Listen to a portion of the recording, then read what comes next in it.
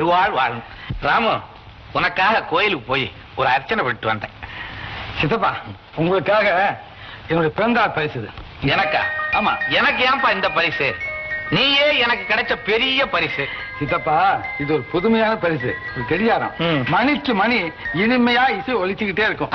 ஆமா. சார் என்ன சார்? விருந்தெல்லாம் ரெடி ஆயிடுச்சு சார். அப்படியா? சித்தப்பா ஆமா. எல்லாரும் சாப்பாடு அழைச்சு போங்க.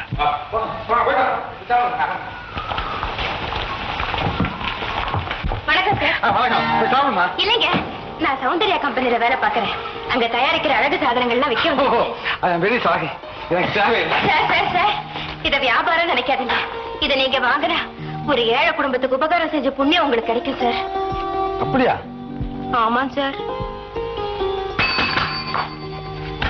இங்க எழுது பாப்போம்? தேங்க்யூ சார் இத பாருங்க சார் இதுல எல்லாமே இருக்கு. Powder hair oil snow hair spray cream shampoo nail polish complete toilet set sir இதையெல்லாம் உங்க மனைவிக்கு வாங்கி கொடுத்தீங்கன்னா உங்ககிட்ட ரொம்ப பிரியமா இருப்பாங்க சார் ஏன் மனைவியா? ஆமா சார் அந்த காலத்துல பெண்கள் பூ தான் கேட்பாங்க. ஆனா இப்ப எல்லாம் பவுடர் தான் சார் கேக்குறாங்க. ஓஹோ. உனக்கு கல்யாணம் ஆயிடுச்சா? இன்னும் இல்ல சார். ஆமா உனக்கு கல்யாணம் ஆனா நீ என்ன கேட்ப என் கணவரோட இதயத்துல நிரந்தரமான இடத்தையும் நீங்காத அன்பையும் தான் கேட்பேன் ஐ சி என்ன சார்? ஐநூறு ரூபா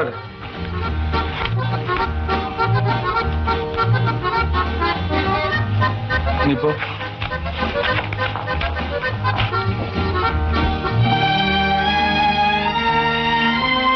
எதுக்கு சார் இவ்வளவு பணம்? இதெல்லாம் மொத்தமே ஐம்பது ரூபாய் தான் சார். இதுக்குள்ள விலை இல்லாது. குடும்பத்துக்கு உதவின்னு சொன்னீங்க. அதுக்காகத்தான் வச்சுக்க. உங்களுக்கு ரொம்ப நல்ல மனசு சார். அதனாலதான் இந்த வீட்டுல லட்சுமி தாண்டவம் ஆடுறா ரொம்ப தேங்க்ஸ். வரேன் சார். ஆ, நில்லுமா. அதையெல்லாம் நீ எடுத்துக்க. ஏன் சார்? சும்மா இருங்க. சார் பின்ன என்ன சார். பெரிய இடமாச்சே. இறக்கப்பட்டு தான் இவ்வளவு பணம் தரீங்கன்னு நினைச்சேன். அதுக்கு பின்னால் இப்படி ஒரு தவறான எண்ணம் இருக்கு தெரிஞ்சிருந்தா இந்த பணத்தை தொட்டு இருக்க மாட்டேன் சார். இந்த வேண்டாமா இருமா. இதெல்லாம் என் மனைவிக்குன்னு தான் சொன்னேன். ஆமா. எனக்கு இன்னும் கல்யாணமே ஆகல. அதனால இதெல்லாம் இங்க உபயோகப்படாது. உங்ககிட்டயே இருந்தா வேற எங்கேயாவது விக்கலாமேங்கிற நல்ல இடத்துல சொன்னேன். நீ தப்பா புரிஞ்சுக்கிட்ட. ம். சாரி சார் நான் தான் ரொம்ப அவசரப்பட்டுட்டேன். என்ன மன்னிச்சிருங்க. நான் வரேன் சார் ம். ஆ, இந்தாம்மா. அதெல்லாம் அங்கே இருக்கட்டும். மறுபடியும் எதுக்கு வம்பு? இல்ல சார் நானே எடுத்துக்கிறேன்.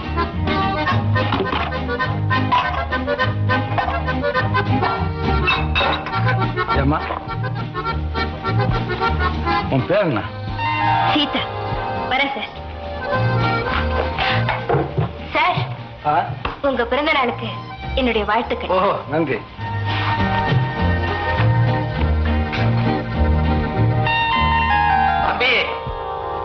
என்ன சித்தப்பா? எல்லாரும் சாப்பிட உட்கார்ந்துட்டாங்க. நீ வா. எனக்கு என்ன அவசரம் சித்தப்பா? பசி இல்ல அப்புறம் சாப்பிடுறேன். உனக்குன்னு ஒருத்தி இருந்திருந்தா இந்நேரம் உன்னை இழுத்து கொண்டு உட்கார வச்சு சோத்தை ஊட்டி இருப்பான் பாத்தீங்களா? கல்யாணம் பேச ஆரம்பிச்சாச்சுல? பின்ன என்னப்பா? உனக்கு உறவுன்னு சொல்லிக்க நான் ஒருத்தன் தானே இருக்கேன். நான் கண்ணை மூடுறதுக்குள்ள உனக்கு ஒரு கல்யாணத்தை பண்ணி பார்க்கணும்னு ஆசைப்படுறேன். சித்தப்பா பாத்தீங்களா? எல்லாரும் உங்களுக்காக காத்துட்டு இருக்காங்க சாப்பிடாம. ராமு கல்யாண பேச்சு எடுத்தா எப்ப பார்த்தாலும் இப்படித்தான் நீ விரட்டுற.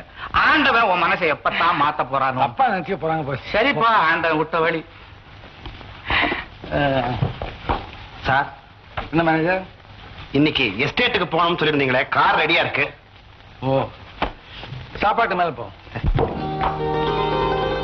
அப்பா? வாமா வா உட்கார். இந்தாங்கப்பா. ஏதுமா இவ்வளவு பணம்? இன்னைக்கு ராமுன்னு ஒரு பெரிய பணக்காரர் வீட்டுக்கு வியாபாரம் பண்ண போயிருந்தேன்ப்பா. ஐம்பது ரூபாய் பொருளுக்கு ஐநூறு ரூபாய் கொடுத்திருக்காரு. ஏன்? நம்ம குடும்ப நிலைமையை கருதி உதவியா இருக்கட்டுமே சன்மானமா கொடுத்தாருப்பா.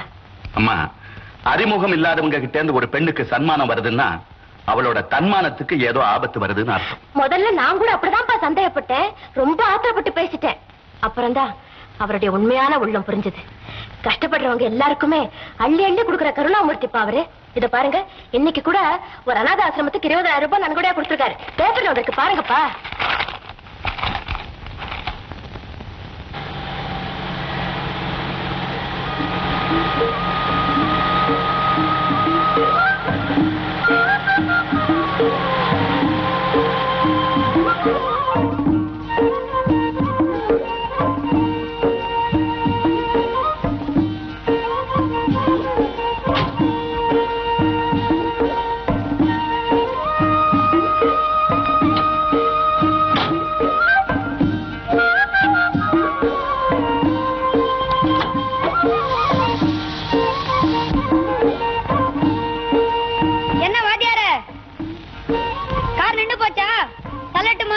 எப்பா நீ இந்த கேரள தரேன்னு சொல்றியா? ஆமா. அதெல்லாம் வேண்டாம் தண்ணி எங்க கிடைக்கும்? தண்ணியா? அதோ அந்த குடிசையில கிடைக்கும்.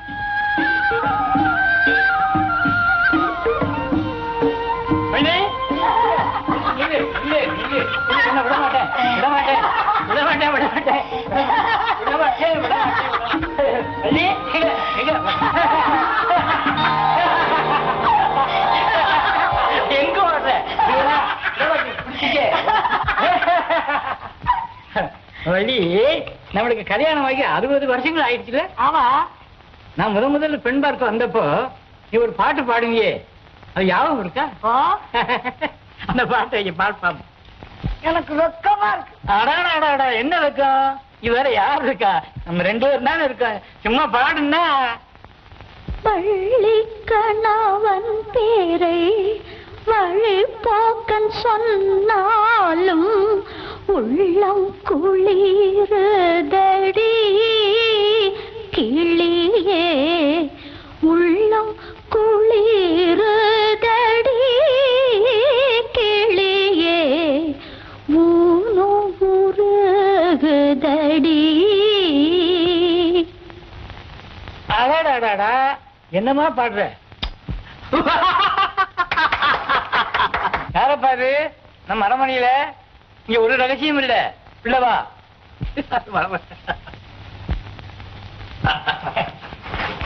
வணக்கம் தாத்தா வணக்கம் பாட்டி. உட்கார் உட்கார். நேரத்துக்கு என்ன தம்பி சாப்பிடுற? பாலா மோரா? ஒண்ணும் வேண்டாம் பாட்டி. உங்களை பார்த்ததே எனக்கு வயிறு ரொம்ப மாதிரி இருக்கு. ஏன் தாத்தா? இங்க நீங்க மட்டும் தனியாவா இருக்கீங்க. என் பெண்டாட்டியோட துணைக்கு. நான் அதை கேட்கல தாத்தா ஆ. குழந்தைகிட்ட ரெண்டே பையன்கள் இருக்காங்க. அதே. அந்த காலத்துல குடும்ப கட்டுப்பாடா? மனக்கட்டுப்பாடப்பா ஓஹோ. சரி உங்க பையன் என்ன செய்றாங்க? ஒருத்தன் படிச்சுட்டு பட்டாளத்துல இருக்கான். சொந்தமா பண்ணைய வச்சு விவசாயம் பாக்குறான் ரெண்டு பேருமே தேச சேவை செய்யறாங்க இல்லையா? எனக்கு ஒரு சந்தேகம் தாத்தா. என்னப்பா சந்தேகம்? ஒண்ணும் இல்ல. அதாவது எங்க அப்பா அம்மா சேர்த்து வச்ச சொத்து நிறைய எனக்கு இருக்கு. ஓடி ஆடி வேலை செய்யறதுக்கும். தேவைக்கு அதிகமாவே ஆட்கள் இருக்காங்க. எல்லாம் இருந்தும் உங்களை போல சந்தோஷமா என்னால இருக்க முடியல ஏன் தாத்தா? உனக்கு கல்யாணம் ஆயிடுச்சா? இன்னும் ஆகல தாத்தா. அதுதான் காரணம். அப்படின்னா? தம்பி சந்தோஷம்ங்கிறது பணத்தாலேயோ பவுசாலேயோ கிடைக்காதப்பா. வாய்க்கிற மனைவியாத்தான் கிடைக்கும். அப்போ கல்யாணம் செஞ்சுக்கிட்டா நிம்மதி கிடைச்சிருமா? கட்டிக்கிற பெண்ணும் கட்டி தங்கமா இருக்கணும். மூணு முடிச்ச ஒழுங்கா போடுன்னு சொல்லி பெரியவங்க சொல்லுவாங்க அந்த ஒழுங்கா போட்டால் மட்டும் போதாது. ஒழுங்கான இடத்திலையும் போடுறமான்னு பாத்துக்கணுமாப்பா அதை எப்படி தாத்தா கண்டுபிடிக்கிறது?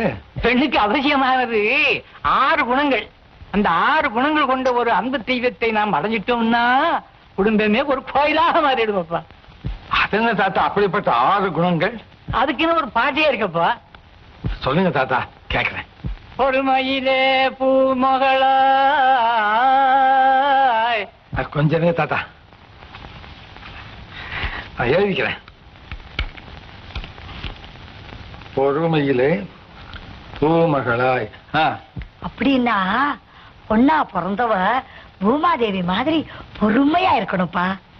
ஓஹோ. அப்புறம்? கொண்ட பேரழகில் திருமகளாய். கொண்ட பேரழகில் திருமகளாய். குட் அழகில நிச்சயம் மாதிரி இருக்கணும். பசியில் அமுதடிக்கும் அன்னையுமாய். பசியில் அமுதளிக்கும் அன்னையுமாய். சாப்பாடு போடுறதுல ஒரு தாய் மாதிரி இருக்கணும்ப்பா. ஐயோ. அப்புறங்க காதல் அரவணைப்பில் கணிகையுமாய். காதல் அரவணைப்பில் கணிகையுமாய் இருந்து காதல் சொல்லடி. அது சொல்லு. அட சும்மா இருங்க. அது சும்மா சொல்லு. நான் சொல்லட்டுமா? வேணாம் வேணாம் நானே புரிஞ்சுக்கிட்டேன். அப்புறம் சொல்லுங்க. ஊழியத்தில் பணிப்பெண்ணாய் ஊழியத்தில் பணிப்பெண்ணாய் இதுக்கு நான் சொல்லிடுறேனே அதாவது கணவனுக்கு பணிபுரிகள் செய்யறதுல வேலைக்காரி மாதிரி இருக்கணும். அறிவை உரைப்பதிலே அமைச்சனுமாய். அறிவை உரைப்பதிலே அமைச்சனுமாய். அதாவது நீங்க சொல்றீங்களா? ஆபத்து காலத்துல கணவனுக்கு ஆலோசனைகள் சொல்றதுல ஒரு மந்திரி மாதிரி இருக்கணும்ப்பா. வாழுகின்ற பெண் எவளோ அவளே பழமாந்த குலமகளா. ம், வாழுகின்ற பெண் எவளோ அவளே பலமாந்த குலமகளாம். இப்படி குணங்கள் உள்ள ஒரு பெண்ணை கண்டுபிடி கல்யாணம் பண்ணிக்கோ அப்புறம் பாரு உன் வாழ்க்கையை.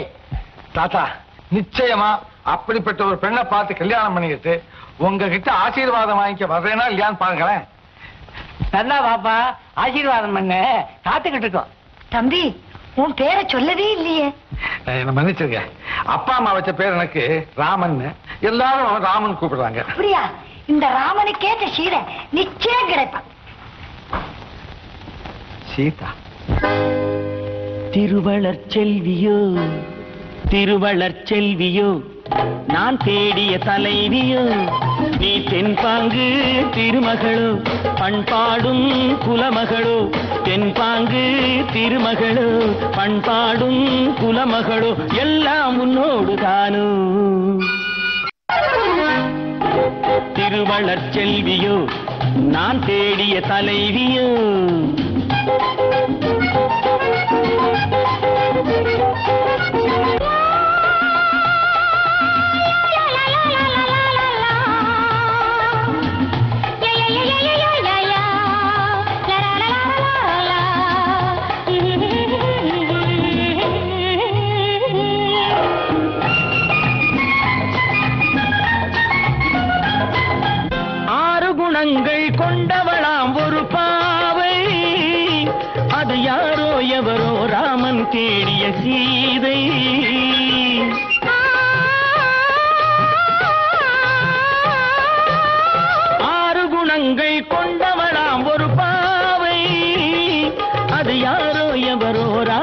தேடிய சீதை.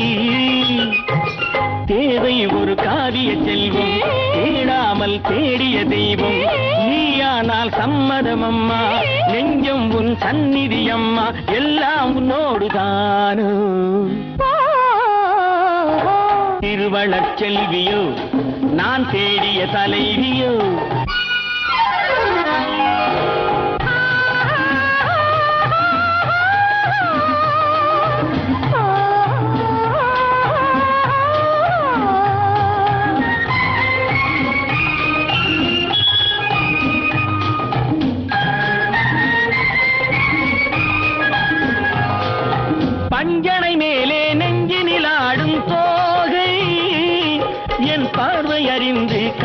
காலம் அறிந்த சேவை. மனதோடு காவல் இருந்து மணவாளன் ஆசை அறிந்து உறவோடு ஊடல் புரிந்து நிலவோடு தேடும் விருந்து எல்லாம் உன்னோடு தானோ? திருவளர் செல்வியோ நான் தேடிய தலைவியோ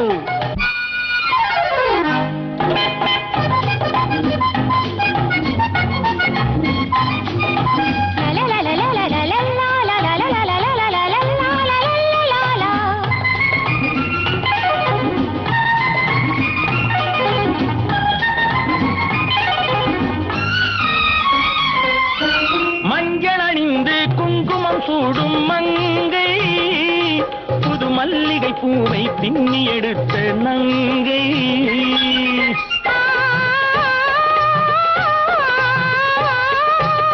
மஞ்சள் அணிந்து குங்குமம் சூடும் மங்கை. புது மல்லிகை பூவை பின்னி எடுத்த நங்கை. நாணத்தில் ஆடிய பாதம் ராகங்கள் பாடிய கண்கள் மானத்தில் ஊறிய உள்ளம். வர வேண்டும் நாயகன் இல்லம் எல்லாம் உன்னோடு தாரு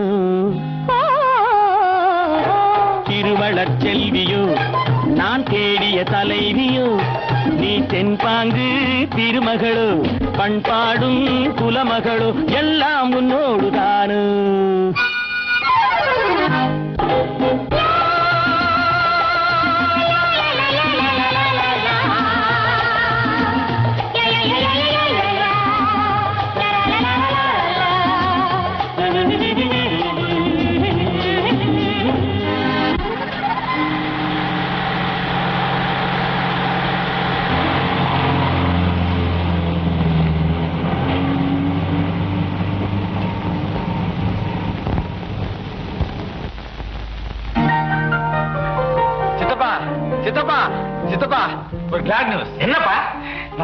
செஞ்சுக்கலாம் முடிவு பண்ணிட்டேன். கல்யாணமா.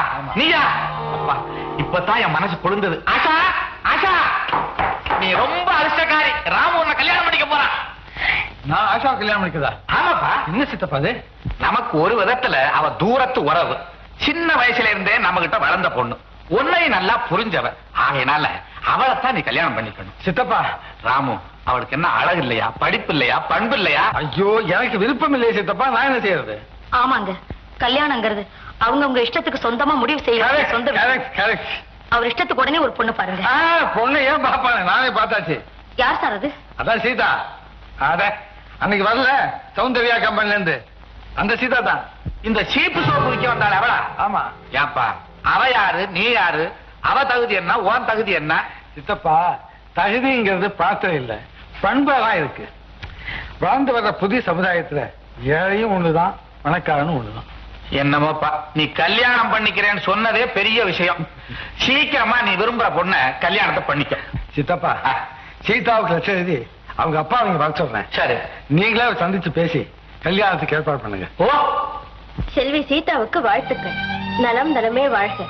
நேற்றுதான் நான் உன்னை முதன் முதலாக சந்தித்தேன். சில நிமிடங்கள் தான் உன்னோடு பேசினேன். உன் அன்பும் அழகும் பண்பும் பணிவும் என்னை பெரிதும் கவர்ந்து விட்டன. நீ எனக்கு ஏற்ற இலட்சிய மனைவியாக இருப்பாய் என்று நிச்சயமாக நம்புகிறேன். நீயும் சம்மதித்தால் உன்னையே திருமணம் செய்து கொள்ள விரும்புகிறேன்.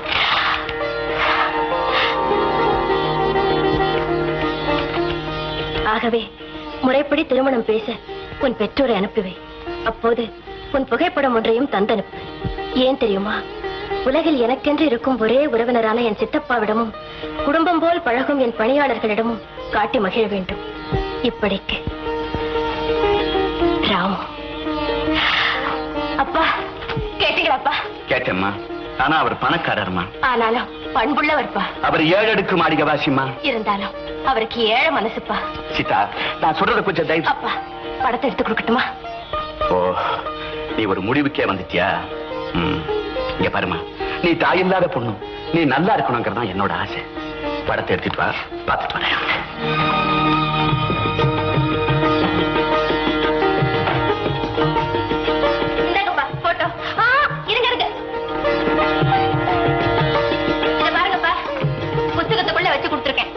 போட்டுருவீங்க. பத்திரமா எடுத்துட்டு போங்க.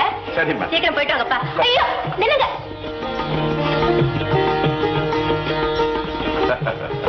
பாத்தீங்களாப்பா? மறந்தே போயிட்டேன். சீக்கிரமா போயிட்டு வரணும்.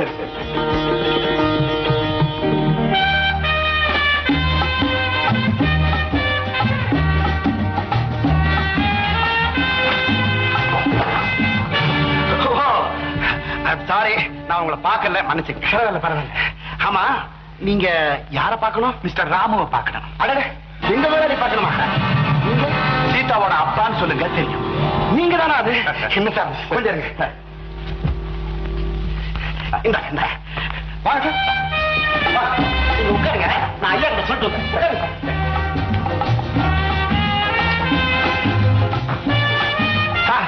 சீதாவோட அப்பா வந்துட்டேன் அப்படியா? உட்கார வச்சு சாப்பிட கொடு. தசமாத்து வந்துடுறேன். நீங்க என்னமா நின்னுட்டு இருக்கீங்க முதல்ல உட்காருங்க சார். ஏ மணி கோபாலா சாமி எல்லாரும் வாங்கப்பா இல்ல சார்? என்ன சார்? சார் யார் தெரியுமா? நம்ம முதலாளிக்கு வருங்கால மாமனார். அப்படியா?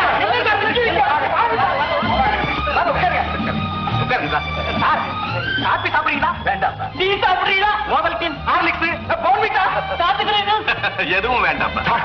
நீங்க இப்படி எதுவுமே சாப்பிடலன்னா எங்க முதலாளி எங்களை கோவிச்சுப்பா சார். முதலாளி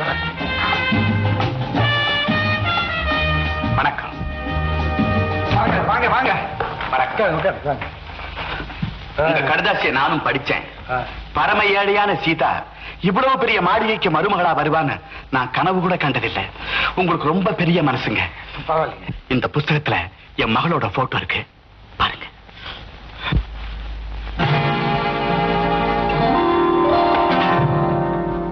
ஆமா நீங்க யாரு? நான் தான் சார் சீதாவோட அப்பா. இது உங்களுடைய மகளா ஆமா. நான் சொன்னது இந்த சீதாவே இல்ல. என்ன சார் இது? நேத்து கூட என் பெண்ணை பாத்தீங்களா பேசுனீங்களா? சேச்சா நானாவது உங்க மகளை பாக்குறதாவது யார் சொன்ன கட்டு கதை இது? என் பொண்ணு ஒரு காலம் பொய் சொல்ல மாட்டா சார். அப்ப நான் போய் சொல்றேன் don't base my time sir sir நான் சொல்றது கொஞ்சம் தயவு செஞ்சு. யூ கெட்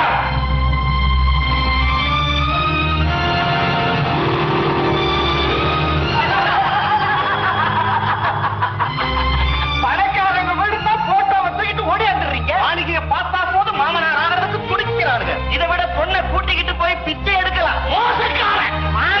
வெக்க வெக்கவன் நிறுத்துங்க. பணம் இருந்தாலும் வாய்க்கு வந்தபடி பேசாதீங்க. நான் மானம் உள்ளவன். இந்தாங்க புஸ்தகம். வேற மாடி வீட்டுக்கு போங்க. அங்க எவனாவது ஏமா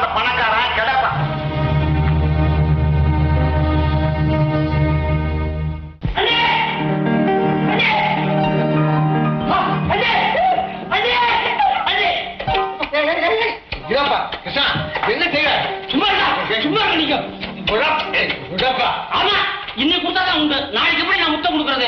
அண்ணி வர போறாங்களே. பெரிய திருட நீங்க சொல்லவே இல்ல. உனக்கு வேடிக்கையா இருக்கு எனக்கு வேலையா இருக்கு. சீதாவுக்கு லட்சம் எழுதி அவ வீட்டுல கொடுத்துட்டோம்னு சொன்னா வேற வீட்டுல கொடுத்துட்டு வந்துட்டாங்க நம்ம வீட்டுல வேற தேடி புத்தாரிக்க ஐயோ அண்ணி பேர் சீதா. என் அண்ணி பேர் சீதா. அன்புள்ள சீதா நலம் நலமே வாழ்க. நீ விரிக்காத தோகை மயில் வண்டு மொய்க்காத வெள்ளை மலர் நிலவு கண்டு சிரிக்காத அல்லி முகம் யாரும் தீண்டாத இளமையிடம் நான் உன்னை வேண்டாத நேரமில்லை நாம் நீண்ட நெடுங்காலம் ஒன்றி வாழ ஐயோ ஐயோ என்ன ஒரு பிள்ளைய மனுஷனாக்கிறதுக்கு ஒரு தாய் இருபது வருஷம் பாடுபடுறா ஆனா அதே மனுஷனை இருபதே நிமிஷத்துக்குள்ள பைத்தியமா ஆக்கிடுறா எங்கிருந்தோ வர ஒரு ஆனா உதவி செய்யத்தான் ஆளக்காம் இந்த வார்த்தை மாத்திரம் என்கிட்ட சொல்லவே கூடாதாமா பள்ளிக்கூடத்துல படிக்கிற காலத்துல இருந்தே மாங்காயம் கிடிச்சுமே அப்ப குடிச்ச நம்ம ரெண்டு பேருக்கும் ஸ்நேகம் இப்ப என்ன வேணும் உங்களுக்கு? அண்ணி சீதா இங்க வரணும் அவ்வளவுதானே நல்ல உத்தியோகம். ரொம்ப பிரமாதமான உத்தியோகம். உங்களுக்காக அதிகம் செய்யறேன். என்ன விலாசம் நம்பர் அறுபத்தி எட்டு அறுபத்தெட்டு. மறந்துடுவேன் எழுதிக்கிறேன். அறுபத்தெட்டு. காந்தி ரோட். எழுதிக்கப்பா. வேண்டியதில்லை. நான் காந்தி இன்னும் மறக்கல. அறுபத்தெட்டு. அண்ணியோட வரேன். வாங்கப்பா வாங்க. அங்க போனீங்களா? போனேன். அவரை பாத்தீங்களா பார்த்தேன். பேசுனீங்களா? பேசுனேன். போட்டோவை கொடுத்தீங்களா? கொடுத்தேன். உங்களை நல்லா வரவேத்தாங்களாப்பா நல்லா வரவேத்தாங்க இதால அடிக்காததுதான் பாக்கி. பேராசக்காரன் மானம் கெட்டவன் வெக்கம் கெட்டவன் வாய்க்கு வந்தபடி எல்லாம் பேசி என்னை விரட்டி அடிச்சிட்டாங்க. அவரே கடிதாசி எழுதி வர சொல்லி நம்ம எதுக்காக அப்படி அவமானப்படுத்தணும்? அவங்க பணக்காரங்க. ஏழைங்க வாழ்க்கையோட விளையாடுறது அவங்களுக்கு ஒரு பொழுதுபோக்கு. போறேன். இப்ப போய் நானே நியாயத்தை கேட்கிறேன் நில்லுமா. உன்னை பெத்த அப்பன் நான் சொல்றேன். இப்பவாவது என் பேச்சுக்கள் அவனை மறந்துரு. அவன் உறவே நமக்கு வேண்டாம். இந்த அவமானத்தை தாங்கிக்கிட்டு இந்த ஊர்லயே நாம இருக்க வேண்டாம். வேற எங்கேயாவது போயிடுவோம்.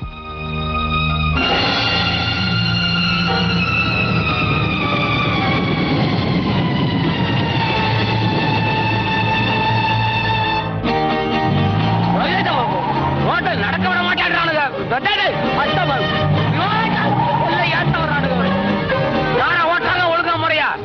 காரு சைக்கிள் வேற நில்றா. ஏப்பா தம்பி இந்த நம்பர் வீடு எங்க ப- ராதா உங்க அப்பன் சிங்கமுத்த யாருன்னு நினைச்ச? மாஜி சிப்பாய் இன்னைக்கு பஸ் ஆளு. இப்படிப்பட்ட அசகாயசூரனுக்கு மகளா பிறந்த நீ நீயும் ஒரு வீரனைத்தான் கல்யாணம் பண்ணி ஆகணும். போங்கப்பா. மாப்பிள்ளைன்னு ஏன் சொல்றாங்க தெரியுமா? மாவால செஞ்ச பிள்ளை மாப்பிள்ளை. மாமனார் இழுத்த இடுப்புக்கெல்லாம் பிள்ளை மாதிரி வரணும். அத விட்டுட்டு நீங்க சொல்ற மாதிரி சிப்பாய கல்யாணம் பண்ணிட்டு அவன் வெறப்பா நிப்பான் பம்புக்கு தான் வருவான். அவமானம் அவமானம். வீர பரம்பரைக்கே அவமானம். அது இல்லப்பா. பேசாத. மிலிட்டரியில எனக்கு கீழே வேலை பார்த்த முனிசாமி காஷ்மீர் கேம்ப்ல இருக்கான் அவனை வர சொல்லி லெட்டர் எழுதிருக்கேன் இன்னைக்கு வந்துருவான். எதுக்குப்பா? எல்லாம் எனக்கு மாப்பிள்ளை ஆக்கிறதுக்கு தான். மிலிட்டரிக்கார மாப்பிள்ளை எனக்கு வேண்டாம்ப்பா. இந்த பாரு உன் புருஷன் இன்னைக்கு வரத்தான் போறான். அவனுக்கு பிடிச்ச ஆடு கோழி காடை கவுதாரி மீன் முட்டை எல்லாம் வாங்கிட்டு வர போறேன். புரியுதா? இந்த பாரு. நான் வர்றதுக்குள்ள அவன் வந்துட்டான்னா உட்கார வை. ஆ? விழுந்து கும்பிடு. உபச்சரணை பண்ணு. இதோ நான் வந்துடுறேன்.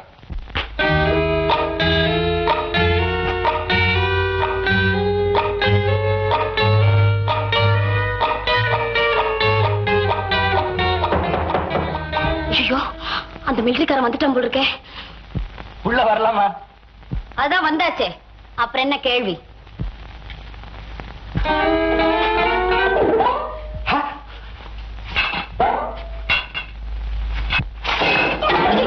நீங்க ஏன் என் கால்ல விழுறீங்க? நான் தான் உங்க கால்ல விழணும். எங்க அப்பா சொல்லியிருக்காரு. நீங்க என்ன நீங்க ஏய், நானே விழுறேங்க பரவாயில்ல பரவாயில்ல. அடா அடா, அடா. என்ன பக்தி என்ன மரியாதை. ஓ, ஓ, என்ன சிரிக்கிறீங்க? சிரிக்கிற மாதிரி என்கிட்ட என்ன இருக்கு? நான் ஒண்ணு உங்களை பார்த்து சிரிக்கல. பரவாயில்ல நீங்க சிரிங்க. சிரிக்கும் போது கன்னத்துல குழி விழுவுது ரொம்ப நல்லா இருக்கு. ஐயோ சிரிக்காமலே குழி விழும். அப்படியா? ஆமா எங்க பாட்டிக்கு. ரொம்ப தமாஷா பேசுறீங்க. இப்படி பேசினா தான் எங்க அண்ணனுக்கு ரொம்ப பிடிக்கும். அண்ணனா?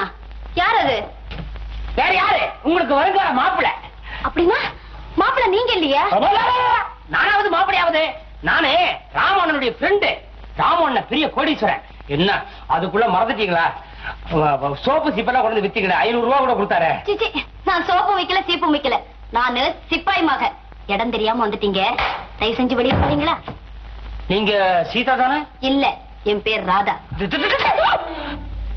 நீ ராதாவா? சீதா இல்ல? அது இருக்கட்டும். நீங்க மிலிட்டரி முனுசாமி இல்லையா? நான் கிருஷ்ண ராமோட ஃப்ரெண்டு ஐயோ நான் எவ்வளவு பெரிய தப்பு பண்ணிட்டேன். நீங்க நீ தப்பு பண்ணிட்ட. நானும் அதே மாதிரி தப்பு பண்ணிட்டேன். தப்பு பண்ணதுல நம்ம ரெண்டு பேருக்குள்ள எவ்வளவு பெரிய ஒத்துமை பாத்தியா? தோதா போச்சு. நீ ராதா நான் கிருஷ்ண. இப்ப தெரியுதா? நான் யாருன்னு? நல்லா தெரியுது. புடவு காய் போடுறவருன்னு புடவை எவன் காய போடல?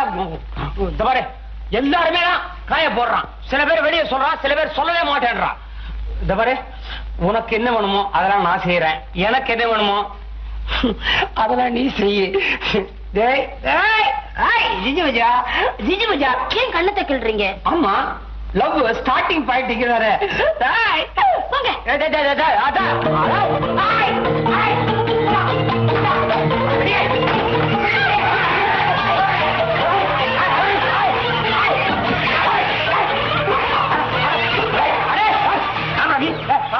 ஏய். என்னை அடிச்சிட்ட நீ என்ன எவ்வளவு அடிச்சிட்ட நீ யார் தெரியுமா நானே?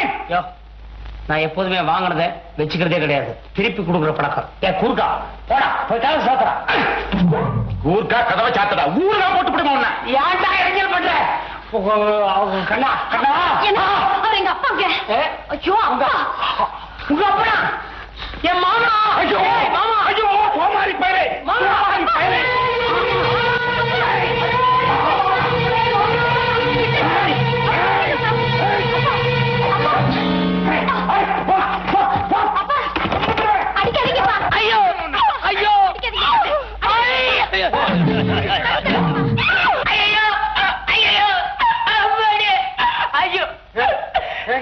என்ன இதெல்லாம்? என்ன? நீங்களே என்ன அடிச்சிருக்கலாம்? என்ன ராங் அட்ரஸ் கொடுத்து இப்படி பழி வாங்குறீங்க? நீ எங்க போன நீங்க சொன்னது ராசம் தான். அதே காந்தி தெரு நம்பர் அறுபத்தெட்டு. ஒரு வய விடல. தெருவுல போற ஒவ்வொருத்தர்கிட்ட ஏப்பா இந்த நம்பர் இருக்கிற வீடு எங்க இருக்கு? இந்த நம்பர் இருக்கிற வீடு எங்க இருக்குன்னு கேட்டுட்டே போனேன். இந்த நம்பரா? அறுபத்தெட்டு. அட பாவி இது எண்பத்தி ஒன்பது எழுதி வச்சிருக்கேன் கருமம் கருமம். யார் சொன்னா இது எண்பது அறுபத்தெட்டுங்க. என்ன சாமி. இதோ அப்படியே பாரு. இப்படி பார்த்தா எண்பத்தொன்பது. ஐயோ ஆமா. பின்ன அறுபத்தெட்டுக்கு போச்சுன்னா எண்பத்தொன்பதாம் வீட்டு போனா சீதா எப்படி இருப்பாங்க? சீதா அங்க இல்ல ராதா இருந்தா. அதாவா ஆமா ராதான்னு ஒருத்தி. என்ன பார்த்தவொன்னு நாதானா. சரி தோதா இருக்காடுன்னு அப்படி நைஸா தொட்டு பார்த்தேன். உடனே அவங்க அப்பகாரன் வந்தான். அடிச்சு அள்ளி போட்டு அனுப்பிச்சிட்டான். ஏங்க நான் மறுபடியும் அறுபத்தெட்டுக்கு வேணாம். நீங்க யாரும் போக வேணாப்பா நானே போய் பாத்துக்கிறேன் ஆமா. தவிடு இருக்கா வீட்டுல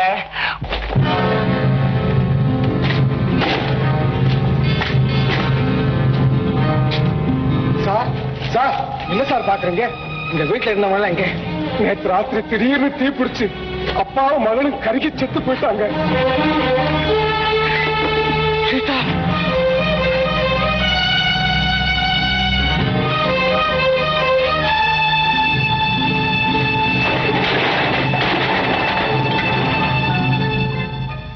அந்த நெருப்பு சீதா மட்டும் இல்ல என் ஆசையை மகிழ்ச்சியை நிம்மதியை எல்லாத்தையுமே எரிச்சு சாம்பலாக்கிடுச்சு ராமு சீதா இறந்துட்டாளேன்னு கவலைப்படாதப்பா. சீதா மாதிரியே உருவமுள்ள ஒரு பொண்ணு நம்ம எஸ்டேட்ல பாம்பாட்டி வீட்டுல இருக்காளாம். உண்மை சித்தப்பா. ஆமாங்க. சீதாவோட தாய் ரொம்ப ஏழையா. அவங்களுக்கு ஒரே பிரசவத்துல ஒரே மாதிரி உருவமுள்ள மூணு பெண் குழந்தைங்க பிறந்தலாம் அதை வளர்க்க முடியாம அனாத ஆசிரமத்தை சேர்த்துட்டாங்களா உனக்கு தெரியும்? நன்கொடை வாங்குறதுக்காக நேத்து அனாத ஆசிரமத்துல இருந்து தலைவர் வந்திருந்தாரு. அவர்தான் சொன்னாரு. ஆமாங்க. போட்டோ கூட கொடுத்திருக்காரு. இத பாருங்க.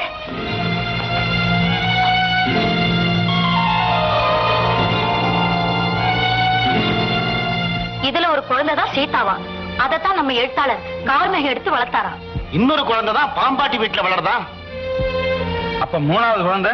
அது எங்க இருக்குன்னு தெரியலையா சார்? ராமு ஓ நிம்மதிதான் எனக்கு முக்கியம். நீ கண்ணீர் வடிக்கிறத என்னால பாத்துக்கிட்டு இருக்க முடியாதுப்பா இப்பவே போய் அந்த பாம்பாட்டி வளர்க்குற பொண்ணு அழைச்சுக்கிட்டு வர்றேன். கல்யாணம் பண்ணிக்க சரின்னு சொல்லு. வேணாம் சித்தப்பா நீங்க போக வேணாம். நான் எஸ்டேட்டுக்கு போய் இந்த பொண்ணை பார்த்து வந்துடுறேன். இந்த நிலைமையில நீ போகணுமாப்பா? நான் தான் சித்தப்பா போகணும். ஒருவேளை என் சீதா மாதிரி உருவம் இருக்கலாம் அவளுடைய உள்ள இருக்க வேண்டாமா? அது என்னாலே தெரிஞ்சுக்க முடியும்.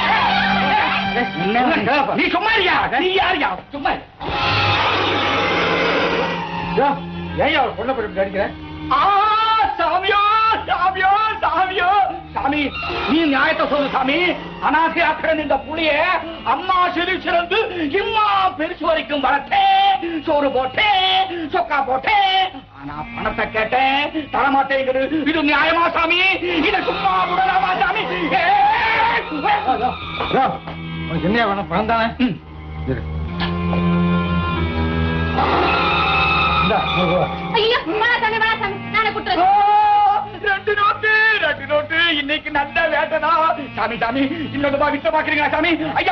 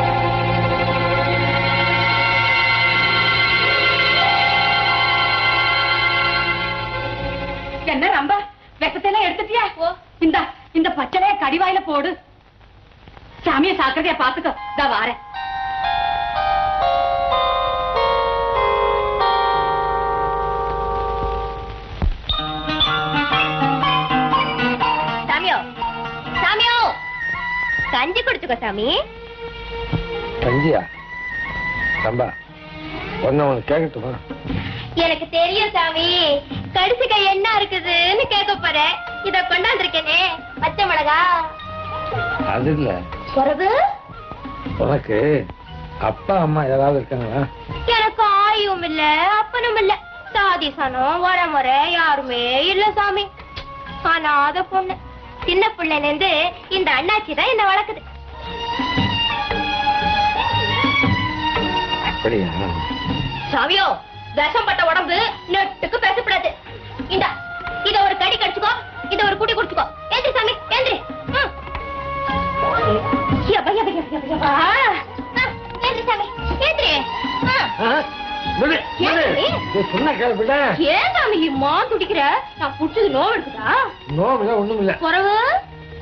இன்னும் கல்யாணம் ஆகல இல்ல. இல்ல சாமிக்கு? சாமிக்கு ஆகல. அதனால தூரம் தூரமா தூரம் தூரமா நான் என்னமோ ஏதான் காட்டியோன்னு பயந்தே போட்டேன். இந்தா சாமி.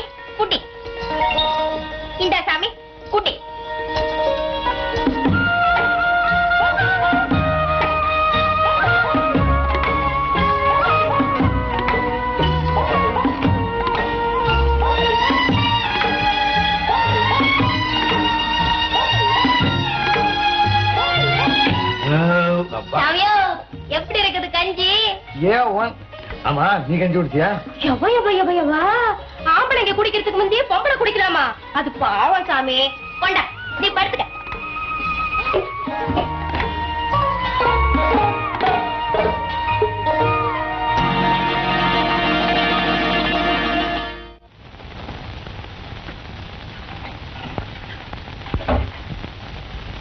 யாரு நீ இன்னும் தூங்கலையா சாமியோ? நீ ஒழுங்கா தூங்க மாட்டியே. இத வர்றேன் வர்றேன். சும்மா தர சாமி. என்ன, சாமி என்ன சாமி கூச்சலு? ரொம்ப வந்து. என்னாடி? என்னாடி செஞ்ச சாமிய? யப்பா யப்பா யப்பா யப்பா நான் என்னத்த செஞ்சேன் காலை புடிச்சு விட்டாங்க அவ்வளவுதான் பிடிக்கலாமா? நீயே சொல்லுமா. கல்யாணம் ஆகாத ஒரு பொண்ணு ஆம்பளை காலை பிடிக்கலாமா? அடங்கோப்புறானே அட, நீ ஏமா சிரிக்கிற? பின்ன என்ன சாமி? இன்னைக்கு என்னமோ கட்டுவரியனை கண்ட மாதிரி இம்மா குதி குதிக்கிறிய. மூணு நாளா நீ பேச்சு மூச்சு இல்லாம படுகடையா கிடந்தப்போ இந்த ரம்பாதான் ராவிக்கெல்லாம் உன் காலை பிடிச்சுக்கிட்டே இருந்தா. மூணு நாள் ஆச்சு. இன்னும் அவ தூங்கவே இல்ல. நான் என்னமோ ஏதான் காட்டியம்னு வாரி சுருட்டிக்கிட்டு ஓடியாந்தேன். நல்ல சாமி நீ. சும்மா கிடப்பியா? நீ பொடி புள்ள.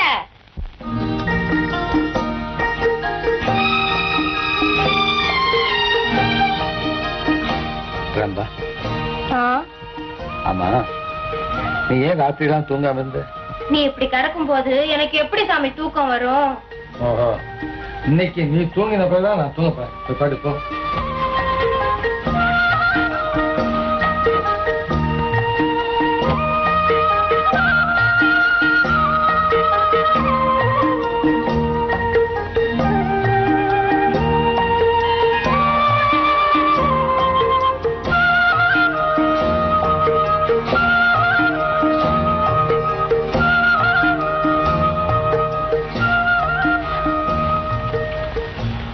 பொதுமையிலே பூமகளாய். அது என்னதான் கவனிக்கணும்? கொண்ட பேரழகில் திருமகளாய். ஆமா. அழகல் லட்சுமியே தான். சீதாவுக்கும் இவளுக்கும் கொஞ்சம் கூட வித்தியாசமே இல்லையே. ஓகே. பசியில் அமுதளிக்கும் அன்னையுமாய். ஆமா இத்தனை நாளும் ஒரு தாயை போலத்தான் எனக்கு உணவு கொடுத்த. ஓகே. காதல் அரவணைப்பில் கணிகையுமாய் சரி அப்புறம் பாரு. இப்ப வேணாம். வேணாம் அப்புறம் அப்புறம், ஊழியத்தில் பணிப்பெண்ணாய். ஆமா. எனக்கு தேவையான பணிபடைகளை செய்யறதுல ஒரு வேலைக்காரி போல் தான் வந்துட்டேன் ஓகே. அறிவை உரைப்பதிலே அமைச்சனுமாய். அது இனிமேல் தான் சோதிக்கணும்.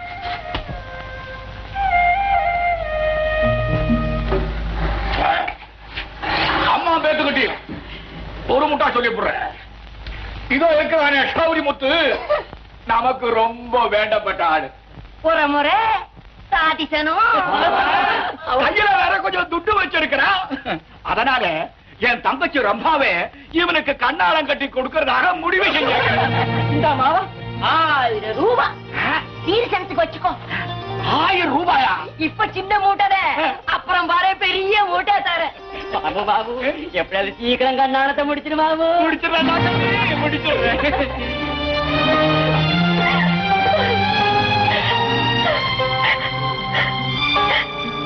அம்பா.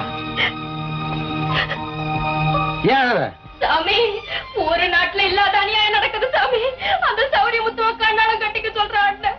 ஏன் அவன் உனக்கு பிடிக்கலையா? அந்த குரங்கு முஞ்சி அவளுக்கு பிடிக்கும் சாமி. பணத்துக்கு ஆசைப்பட்டு எங்க அண்ணன் என்ன பலி போடுது? ஆமா. அதை விட அதிகமா பணம் கொடுத்தா. உங்க அண்ணன் அந்த எவா எவா அப்படின்னா நீயே என்ன கட்டிக்க போறியா சாமி? ஏன் கூடாது? உங்ககிட்ட அழகு இருக்கு அன்பு இருக்கு. பேசுறது சாமி தானா? சாமி சாமி சத்தியமா சொல்ற சாமி. இன்னில இருந்து நீதான் என் புருஷன் நான் தான் பொஞ்சாதி ஏன் சாமி? நான் கீழ் ச்சே, ச்சே. எனக்கு இந்த ஜாதி வித்தியாசமெல்லாம் கிடையாது. குறவு? ரொம்ப எனக்கு வரப்போற மனைவி எப்படி இருக்கணும் அப்படின்னு நான் சில விதிமுறைகள்லாம் வச்சிருக்கேன்.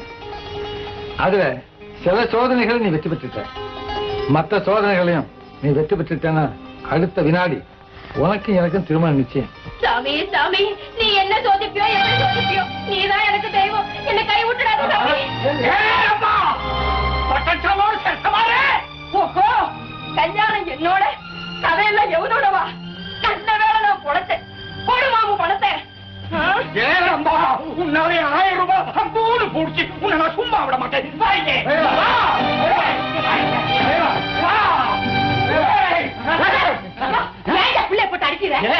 இவளை வெட்டி கொல்லணுண்டி இவளும் இந்த பட்டணத்து சாமியும் அந்த அறை கூட நீ சும்மா சாமி.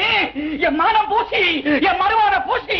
இனிமே இவளை எவ சாமி கத்திக்குவா அந்த வாக்குல நிப்பாட்டி கண்ணு. சாடாவும் கேட்டுப்பட்டு புறவு பேசி இந்த சாமியே என்ன கண்ணால கட்டிக்கிறேன்னு சொல்லுது. ஆமா. நிஜமாவா? ஆமா சொன்னேன். ஏன் அம்பா இந்த சேதிய இம்மா கொத்து நேரம் ஏமா என்கிட்ட சொல்லல? ஏ சாமுண்டி சும்மா நிக்கிறியே. கொண்டு வாரி தாலிய.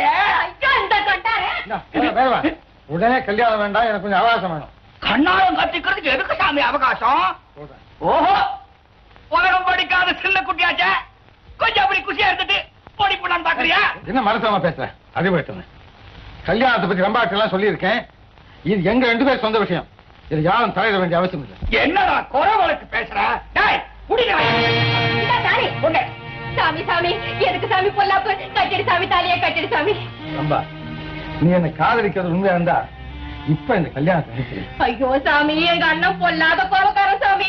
பட்டுன்னு போட்டானா நம்ம ரெண்டு பேரும் பொட்டுன்னு போயிடும் சாமி. கட்டிடு சாமி. உனக்கு எந்த ஆபத்து வராம நான் பாதுகாத்துக்கிறேன்? ஏதாவது யோசனை சமாதானம் சொல்லு. இந்த திடீர் கல்யாணத்தை நிறுத்து. நான் என்னத்த சொல்லுவேன்? எப்படி சொல்ல எனக்கு பயமா இருக்குது சாமி. கட்டிடு சாமி. சீக்கிரம் கட்டிடு சாமி. ஐடியா பண்ணி பாருங்க. என்னடா சமாளிக்கிற? கட்டு தாலிய முடியாது. எலும்பு நுழைக்கிறோம் யாரு சொல்றது? என்ன சொன்ன?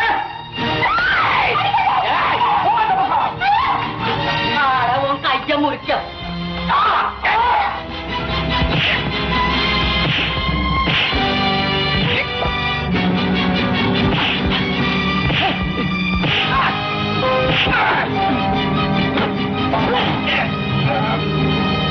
Ah!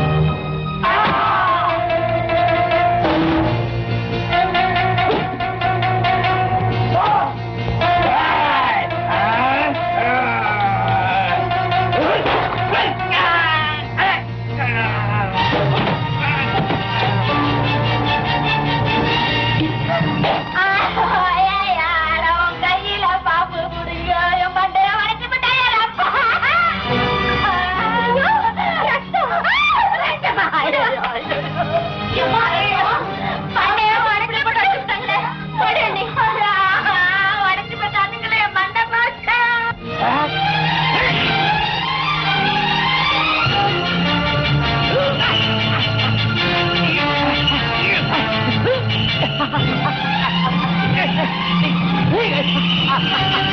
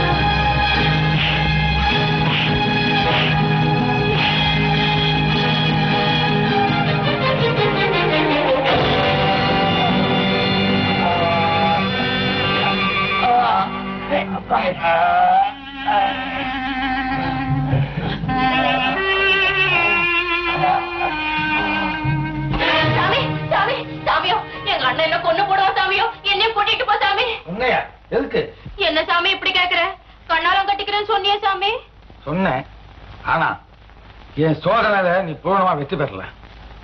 கணவனுக்கு இக்கட்டான நிலைமை ஏற்படும் போது ஒரு அமைச்சரை போல ஆலோசனை சொல்றதுதான் உண்மையான மனைவி. கல்யாணத்தை அப்புறம் வச்சுக்கலாம்னு சொன்னேன் அவங்க கிட்ட எனக்காக ஏதாவது சமாதானம் சொன்னியா? என்னை விடுவிக்கிறதுக்கு ஏதாவது ஆலோசனையா சொன்னியா? ஐயோ சாமி எனக்கு என்ன சாமி ஆலோசனை சொல்ல தெரியும்? அப்படி ஆலோசனை சொல்லக்கூடியவதான் எனக்கு மனைவியாக முடியும். என்னை மன்னிச்சிரு. நான் வரேன். சாமி சாமி ஐயோ சாமி.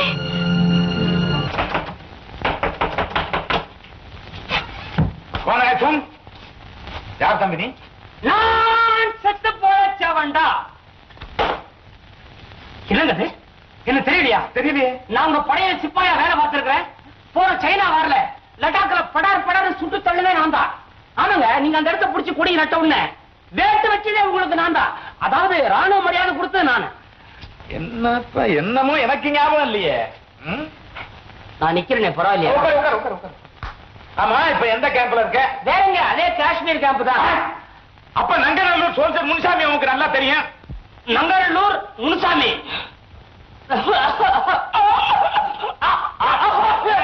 என்னப்பா அழுகுற? என்னப்பா என்னப்பா என்ன. பாவம். முனுசாமி வீரன் நரக அடைஞ்சுட்டான் நமக்கு தெரியாம உலகத்துல எவ்வளவோ நடக்குது. பாம முடிசாமி. எல்லாம் ஆண்டவர் செய்ய முகபத்து முகபத்து.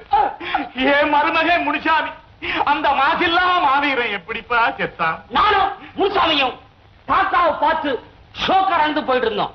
போற வழியில ஒரு ஆயா சாயா கடை வச்சிருந்தா பன்னு புறையெல்லாம் வச்சுக்கிட்டு இருந்தா இவனுக்கா பசி முனுசாமி நேரா பன்னு மேல போய் பாஞ்சான்.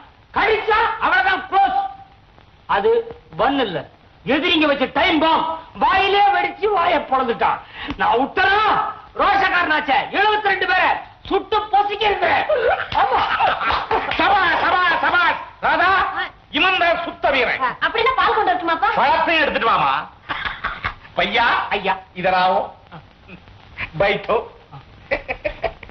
முகபத்து? உனக்கு கல்யாணம் ஆயிடுச்சா? எனக்கு வேணுமே. என்னது? ஆனா இப்ப வேணாம்.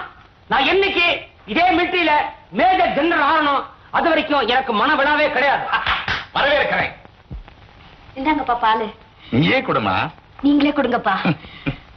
ஆஹா பால். கொஞ்சம் பாதாமும் பிஸ்தாவும் போட்டிருந்தா எவ்வளவு நல்லா இருந்திருக்கும். இன்னைக்கு விட்டா அப்புறம் நான் என்னைக்கு தேத்த போறேன். என்ன என்ன. சூடா இருந்தா துப்பிட வேண்டியதானே கீழே? உடனே சுடுதுங்க. முழுங்கியாச்சா? அடியெல்லாம் பால். ராடாடா நீங்க என்ன நினைக்க போர்க்களத்துல ரத்தத்தை பார்த்தே பயந்ததுல ஆற்றால் பால் விடுங்க. இரு மாப்பிள இது ஒரே இதா இருக்கு. பெருசா. உன் கையால பாலை வாங்கி சாப்பிடறதுக்கு நான் எவ்வளவு கொடுத்து வச்சிருக்கேன் தெரியுமா? என்ன? என்ன? உன் பேர் என்ன சொன்ன? நீ ஒரு மாமா. எத்தனை வாட்டியா சொல்லுவான் ஒருத்தன்? நான் தாயா? முகமத் சிங் முகபத் சிங் என்னடா அது? நான் நான் எடுக்கிறேன் நீங்க தான் எடுத்தீங்க. முன்ன வாங்கிக்கிங்க இந்த பக்கம் இனிமே வந்த உன் எலும்ப நொறுக்கி போடுவேன். அட்டென்ஷன் ராமு இந்த வீட்லயும் மேளச்சத்தம் கேட்கும்னு ரொம்ப ஆசையா இருந்தேன். அந்த பாம்பாட்டி பொண்ணையும் வேணான்னு சொல்லிட்டேன். சித்தப்பா சம்பா சீதா மாதிரி தான் இருக்கா?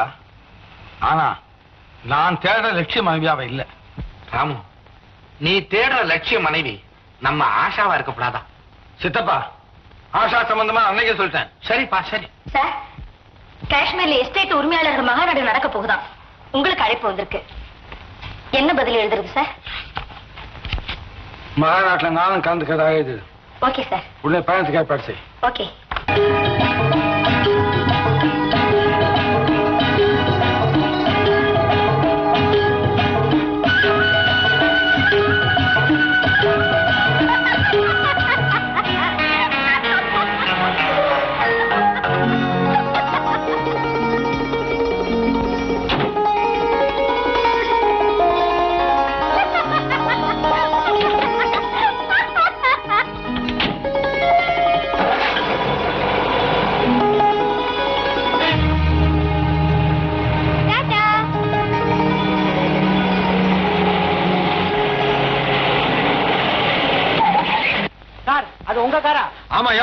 ஓட்டிட்டு போகுது. அது எங்க எஜமானி அம்மா தான் பாவம் பைத்தியம். பைத்தியமா? என்னையா மெதுவா சொல்லிட்டு இருக்க? ஆக்சிடென்ட் ஆயிடுச்சுன்னா ஏறியா வாங்க வண்டியில சார் வாங்க.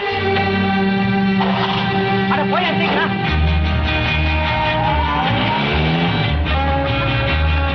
ஏப்பா பைத்தியத்தை வீட்டுல கூட்டிக்குது இல்லையா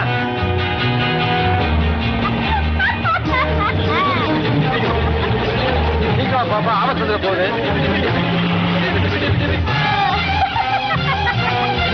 என்னப்பா அப்படி சீக்கிரம் ஓட்டப்பா போய் பிடிப்பா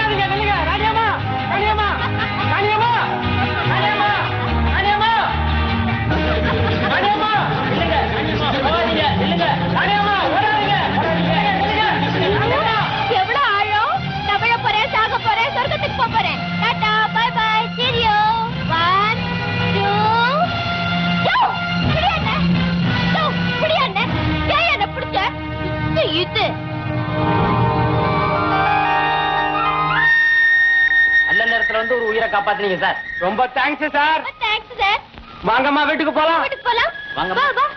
வாங்க வாங்க. வாங்க வாங்கம்மா. வீட்டுக்கு போலாம் வாங்க. ஹாய் மிஸ்டர் கருப்பு கண்ணாடி. டாடா பை பை சீரியோ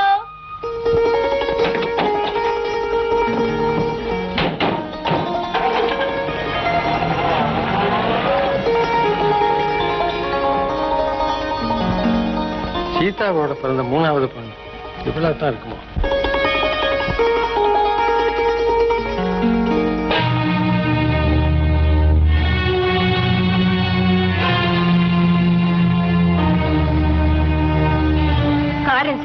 அவர்களுக்கு வணக்கம். நான் பைத்தியக்காரி அல்ல. பாவிகளிடம் சிக்கி தவிக்கும் ஒரு பேதை. என்னை மணக்க வேண்டும் என் வாழ்வை கெடுக்க வேண்டும் என்று துடிக்கிறான் ஒரு முரடன். நானோ பண்போடு கூடிய ஒருவரோடு அன்போடு வாழ விரும்புகிறேன்.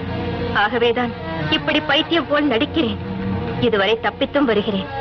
உங்களால் முடிந்தால் மனம் இருந்தால் என்னை காப்பாற்றுங்கள். என் முகவரி குடும்ப நிலை அனைத்தும் கடிதத்தின் பின்புறத்தில் விரிவாக இருக்கிறது. நான் சாவதற்கு முன் என்னை காப்பாற்றுங்கள். இப்படிக்கு. ராணி. ராணி.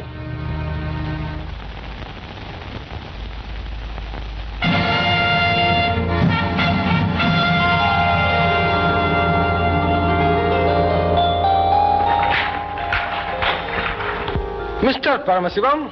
ஆமா என் பேரு. அது எப்படி தெரிஞ்சது உங்களுக்கு? உங்க ஊரு நீங்க யாரு எல்லாமே இருக்கு உங்களுக்கு மகள் அவ பேர் ராணி. ஆமா அவளுக்கு பைத்தியம். ஆமா. சித்த வைத்தியம் மத்த வைத்தியம் எல்லா வைத்தியம் பார்த்தாச்சு. ஆமா.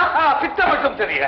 ஆனா கரெக்ட் ஏன் சார் நீங்க என்ன Josiah no no no no wrong நான் ஒரு மனோதத்துவ நிபுணர். தட் இஸ் மனோதத்துவ டாக்டர் பைத்தியங்கள் எங்கெங்க இருக்கோ அங்கெல்லாம் போய் வைத்தியம் பார்க்கறது என்னோட வேலை. நேற்றுக்கு உங்க மகளை பார்த்தேன். எல்லா விஷயத்தையும் தெரிஞ்சுக்கிட்டேன். நீங்க மாத்திர சம்மதிச்சா பத்தே நாள் வைத்தியம் பறந்துடும் பைத்தியம் சாரி சார் நல்ல நேரத்துல கடவுள் மாதிரி வந்திருக்கீங்க சார். ராணி இருக்காளே என் வளர்த்து பொண்ணுதான். இருந்தாலும் அவ படுற அவஸ்தை இருக்கு சார்.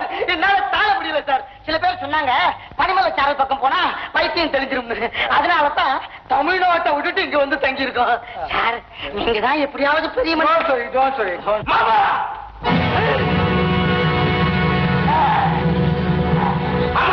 சாரி யார் வக்கீலா?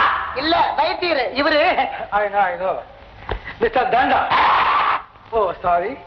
You are Mr. Godanda. Would be son-in-law. அதாவது வருங்கால மாப்பிள. கோலம் நம்ம ராணியை குணப்படுத்துறேங்கிறாரு.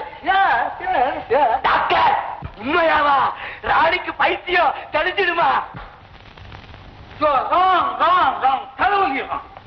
போன ஏப்ரல் மாசம் இப்படித்தான் ஒரு கேஸ் உன்னை போல ஒரு பூல் கேட்டான் கோமாதமான் அவ்வளவுதான். என்ன ஆட்சி தெரியுமா? என்ன ஆட்சி கொஞ்சம் கோமாயிடுச்சு. ஆனா குணமாசமான ஒரு முட்டாள் கேட்காம அவனுக்கு பிடிச்சி சொல்லுவோம் ஐயோ ஐயோ ஏன் பயப்படுறேன் நான் இருக்கேன். கண்டு பார்க்கத்தான் வந்தேன் எங்க ராணி? ராணி?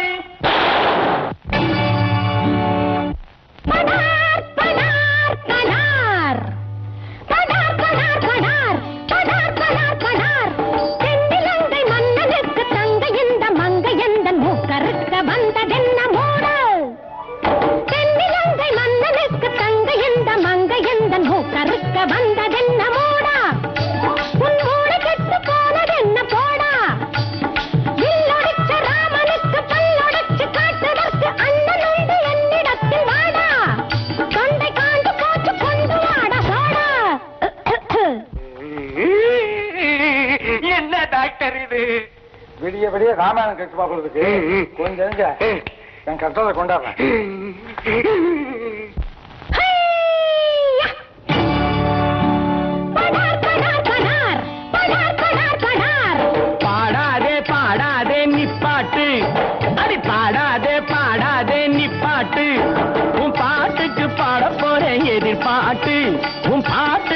பாட போறேன் எதிர்பார்த்து படார்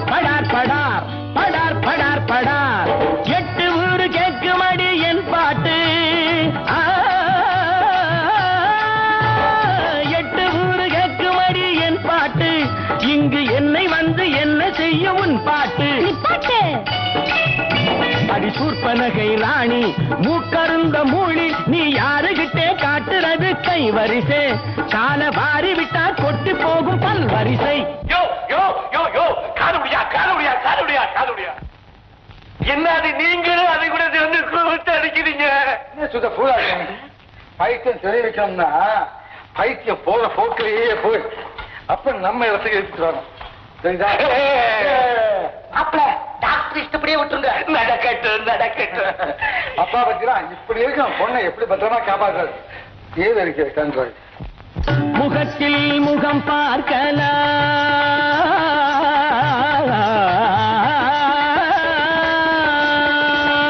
முகத்தில் முகம் பார்க்கலாம்.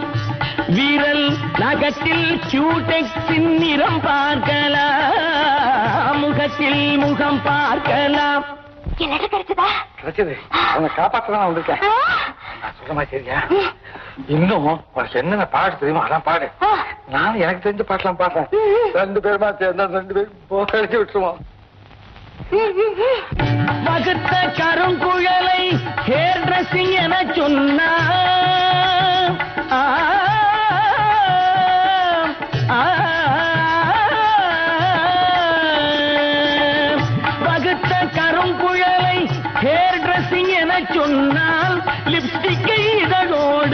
இணை சேர்க்கலாம். என் முன் வளைந்து இளம் தென்றலில். தத்தின்தா தகதின்தா தின்தா. மிதந்து வரும் கைகளில். தத்தின்தா தகதின்தா தின்தா. வளையலின் கியூன் கேட்கலாம். மாமா மாமா என்ன மாமா அது? மாப்பிள என்னதான் நடக்குதுன்னு பாப்போம்.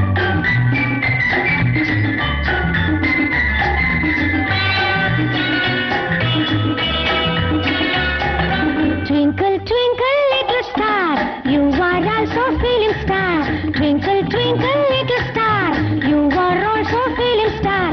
Looking like our MGR, allow me beauty, come on, sir. Looking like our MGR, allow me beauty, come on, sir. Meet me, meet me, sweetie girl. Me, teach me, lovely tale. Tell me, tell me, meeting place. Daily, daily, show your face. Meet me, meet me, sweetie girl. Teach me, teach me, lovely tale. Tell me, tell me, meeting place. Daily, daily, show your face.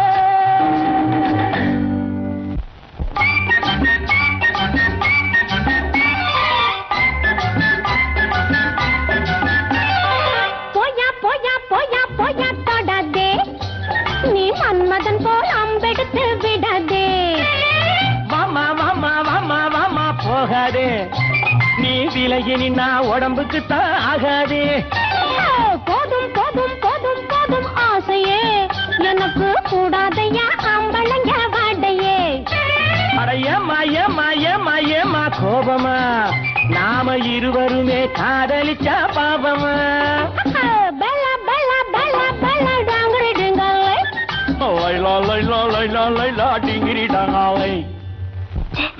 அடுத்த program என்ன?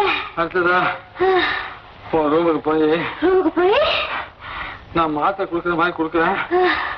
சாப்பிட்டுட்டு.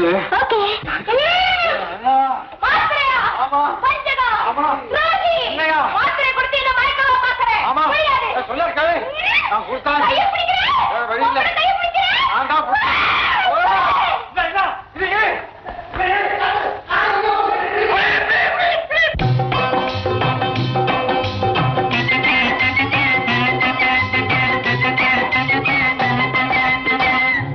மகளே ஏன் இந்த ரகளே அத்தானின் பக்கத்திலே வேறென்ன கவலே yahoo, yahoo, yahoo, yahoo, yahoo,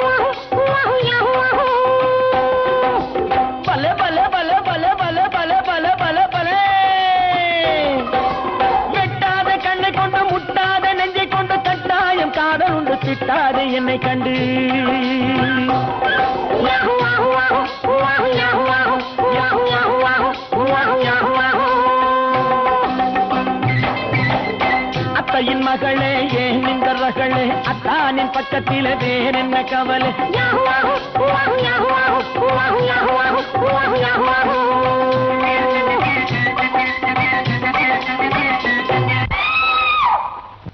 உன் விருப்பத்துக்கு விரோதமா? உங்க அப்பா ஏன் அந்த நொண்டி கல்யாணத்தை துடிக்கிறாரு அதாங்க புரியல. அந்த பாவை ஏதோ ஒரு ரகசியத்தை வச்சுக்கிட்டு எங்க அப்பா மிரட்டிக்கிட்டே இருக்கான். அவரும் நடுங்கிட்டே இருக்காரு. இந்த இடத்தை விட்டு எங்கேயாவது ஓடி போய் செத்து தொலைக்கலன்னாலும் பின்னாலே வேலைக்காரங்களை அனுப்பிச்சு பிடிச்சுக்கிட்டு வந்துடுறாங்க. டோன்ட் வரி இனிமே உன்னை காப்பாத்துறது ஏன் பொறுப்பு. ஆ, அப்படின்னா இப்பவே இந்த வீட்டை விட்டு போயிடலாமா? அது பெரிய தப்பு. நான் கொஞ்ச நாள் இங்க இருந்து உன் பைத்தியத்தை குணப்படுத்த மாதிரி நடிக்கிறேன். நீ அது கொத்தாசி என்ன செய்யணும்? நான் மாத்திரை தருவேன். மாத்திரையா? ஆமா மாத்திரை தான். அதை சாப்பிட்டுட்டு மயங்கி நான் சொல்றதெல்லாம் கேட்கிற மாதிரி நடிக்கும். ஓகே. ஏதா என்ன? தானம் தானம் வேண்டாம். சும்மா தானம்.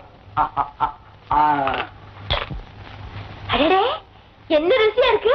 மிட்டாய் மாதிரியே இருக்கே? உண்மையா மிட்டாய் தான். ஆனா மிட்டாய் திங்கிற மாதிரி கணக்கம் பக்கம் திங்காது. பின்ன எப்படி திங்கிறதா? கசப்பு மருந்து சாப்பிடுற மாதிரி முகத்தை கஷ்டமா வச்சுக்கணும். கஷ்டமா வச்சுக்கணுமா?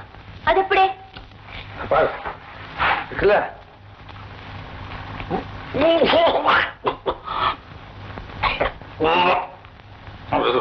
இப்படியா? எங்க மாமா மாதிரி முகத்தை வச்சுக்கணும் அவ்வளவுதானே? இதனால் சகலமானவர்களுக்கும் அறிவித்து தொலைப்பது என்னவென்றால் சட்டி சட்டியாக இட்லி ரெடி வயிற்றில் கொட்டிக்கொள்ள வாருங்கள் வாருங்கள். டாக்டர் டாக்டர் சும்மா சொல்லக்கூடாது. உங்க ட்ரீட்மெண்ட்ல கொஞ்சம் இம்ப்ரூவ்மெண்ட் தெரியுதே. கொஞ்சம் இல்லையா? நல்லாவே இம்ப்ரூவ்மெண்ட் ஆமா ஆமா முன்னெல்லாம் சாதாரணமா கூப்பிட்டுச்சு. இப்ப மணி அடிச்சு கூப்பிட்டு. கரெக்டா சொல்றீங்க. ஆமா. ஆ, பசிக்குதுல்ல. இட்லி சாப்பிடுமே நானே இட்லி போடு.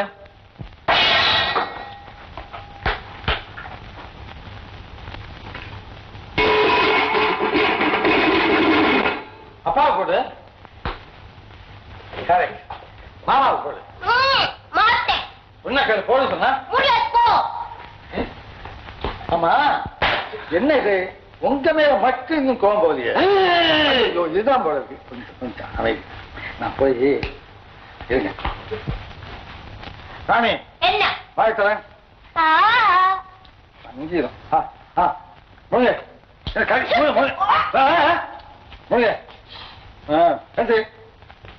போன மாமாவுக்கு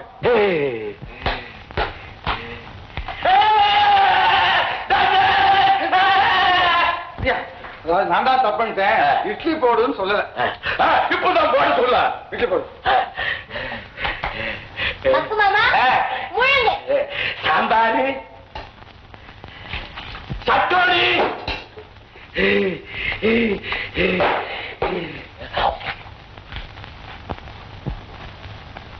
ஆஹா. அப்பாவுக்கு. சாப்பிடுங்களேன் டாக்டர் டாக்டர் நீங்க சொல்றபடி எல்லாம் கேக்குது. என்கிட்ட கொஞ்சம் அன்பா ஆசையா பேச சொல்லுங்களேன் பேச சொல்றேன் ஐயா கொஞ்சவே சொல்றேன். அதுக்குன்னு வேற மாத்திரம் வச்சிருக்கேன். இந்த பாரு. ஆ, நானே ஆயத்தரேன் நல்லா. அ, அ, அம். இங்க சாப்பிடு சாப்பிடு சாப்பிடு. கொஞ்சம் நல்லா கொஞ்சம் கொஞ்சம் ம். என்ன? டாக்டர் குல வேண்டே. மருத்துவ வம்சத்து மாமன்னரே. நம்ம சுயம்பரம் எப்போது? அதற்கு என்ன அவசரம் இப்போது! என்ன வார்த்தை புகழ்ந்து விட்டீர்? என்னை மறக்க வேண்டும் என்று எல்லையிலே காத்திருக்கிறான் சோழ மன்னன் கொல்லையிலே டென்ட் எடுத்து விட்டான் பாண்டிய சிறை எடுத்து செல்வேன் என்கிறான் பிருத்விராஜ். யார் தெரியுமா? அதனால அதனால என்ன இப்போ? எனக்கு இடுங்கள் மாலை இவனுக்கு கொடுங்கள். என்னையா இது? உங்களையே கொஞ்சிட்டு இருக்குது. என்னை கொஞ்சம் சொல்லுங்கய்யா. நான் தானே மாத்திரை கொடுத்தேன். அப்போ எனக்கு ஒரு பாட்டிலே கொடுங்க. நான் கொடுக்கறேன் இருக்கையா நீ நான் இந்த மாத்திரை கொடுத்து ரெண்டு பேரும் லவ் பண்ண ஆரம்பிச்சு கடைசியா யார கல்யாணம் பண்ணிக்க தெரியாம தற்கொலை பண்ணிட்டா அதனால முதல்ல பைசத்தை தெளிய வைக்கிறேன் அப்ப நீ மாத்திரை கொடுக்குற. போற போக்க பார்த்தா என்ன ஆகுமோ தெரியலையே. ஒன்னாகாது சாப்பிடாத. கல்யாண சாப்பாடு சாப்பிடாம நான் இங்கேருந்து போகவே மாட்டேன். என்ன இது அந்த புறத்தில் அனாவசிய பேச்சு. வாருங்கள் வசந்த மண்டபத்திற்கு இந்தா. போயிட்டு வந்துடுறேன். என்ன என்ன ராணி? என் மாமனை நாளைக்கே கல்யாணம் செய்துக்கிறேன்னு சொல்லிட்டேனே. விடிஞ்சதும் தாலியோட வந்து நிப்பானே அந்த தடிய. பயப்படாத. அது நிச்சயம் நடக்காது. என்ன சொல்றீங்க? ராணி நானே உன்னை கல்யாணம் செய்து கிடைக்குமா? இப்பவே சொல்லுங்க. என் வீடு வாசல் சொத்து சுகம் எல்லாத்தையும் விட்டுட்டு உங்க கூடவே வந்துடுறேன். நாளைக்கே கல்யாணம் பண்ணிக்கலாம். அவசரப்படாதே. எனக்கு வரப்போற மனைவி எப்படிப்பட்டவளா இருக்கணும்னு நான் சில விதிமுறைகள் எல்லாம் வச்சிருக்கேன். அதுல நீ வெற்றி பெற்றுட்ட மறு வினாடி நம்ம ரெண்டு பேரும் கல்யாணம் நிச்சயம். நான் உங்களையே தெய்வமா நினைச்சிட்டு இருக்கேன் நிச்சயமா எனக்கு வெற்றி கிடைக்கும். முதல்ல இந்த மாமன் கிட்ட இருந்து தப்பிக்கணும். அதனால இன்னைக்கு ராத்திரி எல்லாரும் தூங்குனதுக்கு அப்புறம் வீட்டை விட்டு போயிடலாம். என்ன? வாங்க போலாம்.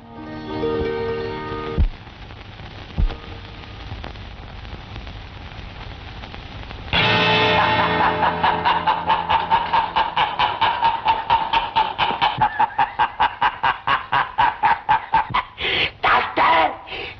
கண்ணுல மண்ணை தூவிட்டு எங்க போற? உங்க நரகத்துல இருந்து ராணிக்கு விடுதலை கொடுக்க போறேன். அதுக்கு முன்னாடி இந்த உலகத்திலிருந்து உனக்கு விடுதலை கொடுக்க போறேன்.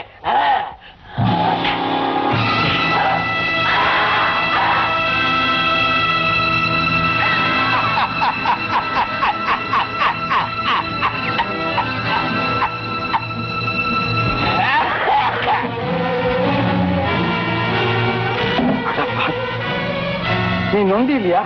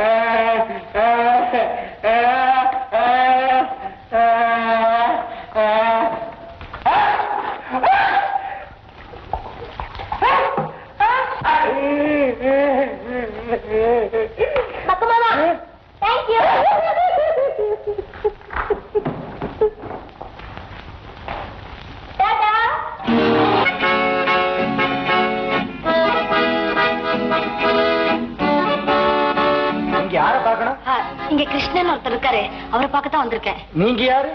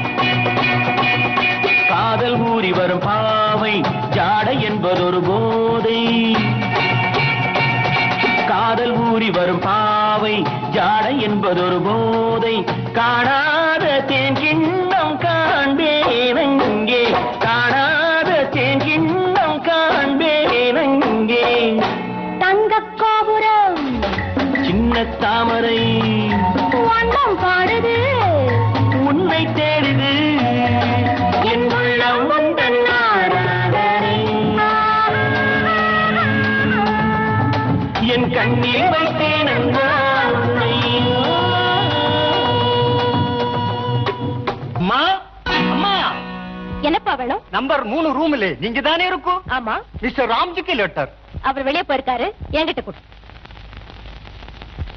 To Thiru Ramu from S Devaki. தேவகியா?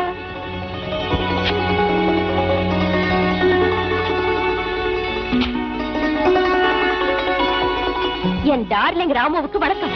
என்னது?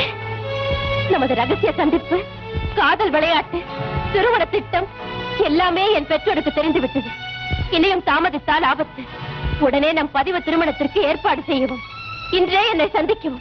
இப்படிக்கு உங்கள் வருங்கால மனைவி தேவகி. வருங்கால மனைவி தேவகி.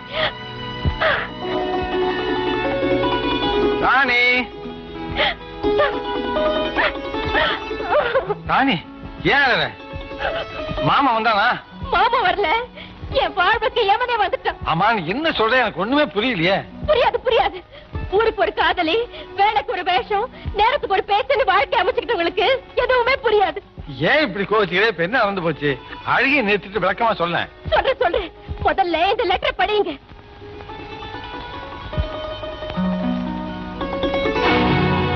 தேவகி. ஆமா யார் இந்த தேவகி? இந்த லெட்டர் யார் கொடுத்தா? ஆமா ஆமா கணக்கு இல்லாம காதலிகள் இருந்தா கவனத்துக்கு எப்படி வரும்? ராணி ஆத்திரப்படாதே. பொண்ணுக்கு பொறுமைதான் முக்கியம். நான் சொல்றத கேளு. கேட்கறது என்ன உங்ககிட்ட பணம் மட்டும் இல்ல அந்த பணத்தையே முதல்ல வச்சு விளையாடுற குணமும் இருக்கு.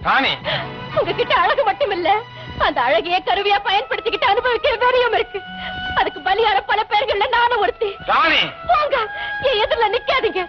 நீங்க ஒரு கல் நெஞ்சுக்காரர் நயவஞ்சகர். நம்பிக்கை துரோகி போங்க. போயிருங்க. அம்மா. யாரம்மா நீ? என்ன வேணும்? என் பேரு தேவகி. மூணாம் நம்பர் அறையில ராமன் ஒருத்தர் இருந்தாரு. அவருக்கு ஒரு லெட்டர் அனுப்பினேன். நேத்து தான் அவர் அறைய காலி செஞ்சுட்டாங்கிற செய்தி எனக்கு இப்பதான் தெரியும். இதுதான் அந்த லெட்டர் ஆமாங்க. உங்களுக்கு அனாவசியமான தொல்லை கொடுத்துட்டேன். மன்னிச்சிடுங்க. நான் வர்றேங்க. என்ன மன்னிச்சிருங்க? இனிமே மன்னிச்சு தான் என்ன பிரயோஜனம்? என் ஆசையால நீதான் மண்ணாளி போட்டியே. நான் எதிர்பார்த்த நல்ல குணமெல்லாம் உன்கிட்ட இருக்கும்னு நம்பித்தான். உன்னை கல்யாணம் செய்துக்கலாம்னு முடிவு செஞ்சிருந்தேன். என்னங்க? இனிமே அது நடக்காது. ஐயோ என்னை கைவிட்டுடாதீங்க. ராணி என்ன பொறுத்த வரையிலும் எனக்கு வரப்போற மனைவி எப்படி இருக்கணும்னு இந்த தைரியம் இருக்கு. இது எனக்கு தெய்வட்ட கட்டளை அதை நான் மீறவே முடியாது. இதோ பார். பொறுமையிலே பூமகளாய். அதாவது ஒரு பெண் பூமாதேவி மாதிரி பொறுமையா இருக்கணும்னு சொல்றார். நீ என்னடான்னா பூமாதேவி மாதிரி இல்ல. நிர்மலையா நெருப்ப கக்கிட்ட. உண்மை என்னன்னு தெரிஞ்சுக்க கூட முயற்சி பண்ணாம என்னை பத்தி என்னென்னமோ பேசிட்டேன் ஐ ஆம் சோ சாரி நீங்க வேற யாருக்கும் சொந்தமாக கூடாது. எனக்கு மட்டுமே உரிமையா இருக்கணுங்கிற ஆசையில தாங்க அப்படி ஆத்திரப்பட்டு பேசிட்டேன் என்ன மன்னிச்சிருங்க. எப்படியோ உன் மாமங்கிட்ட இருந்து உனக்கு விடுதலை வாங்கி கொடுத்துட்டேன். ஆனா உன்னை நடுவில விட்டுட்டேங்கிற பழி எனக்கு வேண்டாம். இந்தா. இதுல பத்தாயிரம் ரூபாய் இருக்கு. அப்பா வரவழைச்சு நீ நிம்மதியா வாழ்ந்துட்டு குட்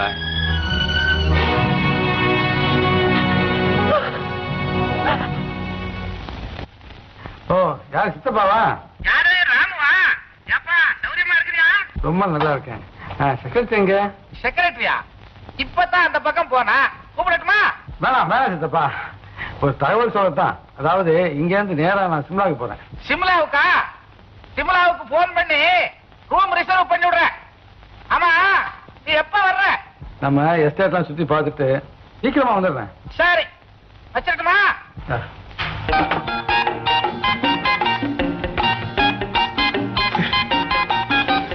தீபாவளிக்கு வந்தேன். ஐயா பாக்ஸிங்க்கு போயிட்டு தான் சொன்னாங்க. ம். உங்களுக்கு வந்தேன். அப்போ பாக்ஸிங்க்கு போயிட்டு தான் சொன்னாங்க. இன்னைக்கு சாயந்தரம் வரட்டுமா. வணக்கம். பைலான் சார் வணக்கம் வணக்கம்.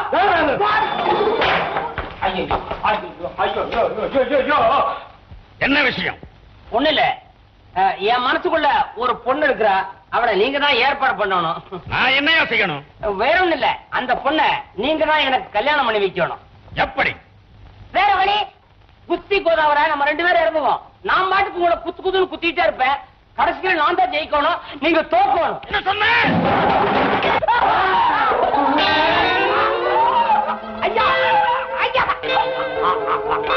என்ன பொருளாதீங்க பொருளாதீங்க என் உயிரை உங்க கையில தான் இருக்கு சும்மா ஒரு நாடகத்துக்காக இப்படி ஒரு பேச்சு சொன்னேன். வேற ஒண்ணும் இல்ல.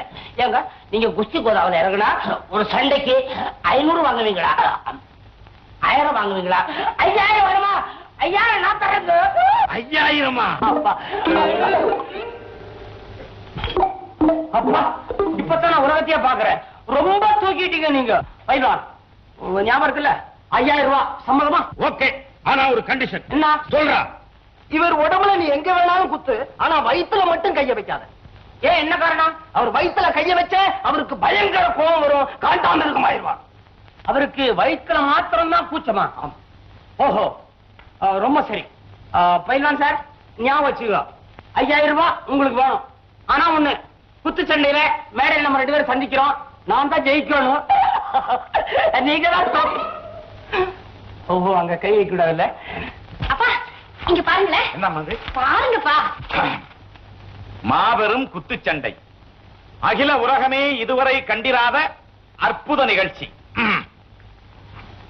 எண்ணூறு பவுண்டு பக்கிரியும் தொண்ணூறு பவுண்டு கிருஷ்ணனும் மோதனா ஏன் அப்படி மலைச்சு போய் நிக்கிறீங்க? என்னம்மா இது அக்கிரமா? ஏன் குருநாதன் கூட இந்த கோழி குஞ்சு மோதுறதா? நீங்க நினைக்கிறது தப்புப்பா. பெரிய மலைய கூட ஒரு சின்ன உளியால உடைச்சிட முடியும். அவரு வீரன் ஆகணுங்கிறதுக்காக யாருகிட்டயும் குத்து சண்டை கத்துட்டு வந்திருக்காருப்பா. இதெல்லாம் எனக்காக என் காதலுக்காக. ம். உன் காதலுக்காக அவன் உயிரையே பலி கொடுக்க போறான். அப்பா நம்மளும் போய் பார்க்கலாம்ல. அப்பா! சரி போலாம் சரிப்பா. ரசிகர்களே இன்று நடைபெறும் இந்த அதிசயமான குத்தி சண்டை இதுவரை நீங்கள் காணாத காட்சி. பல பயில்வான்களை ஒரே ரவுண்டில் வீழ்த்திய பயில்வான் பக்கிரிக்கும் அமைச்சூர் கிருஷ்ணனுக்கும் குத்து சண்டை இதோ மாமிசமலை பக்கிரி இதோ எலும்புக்கூடு Krishnan.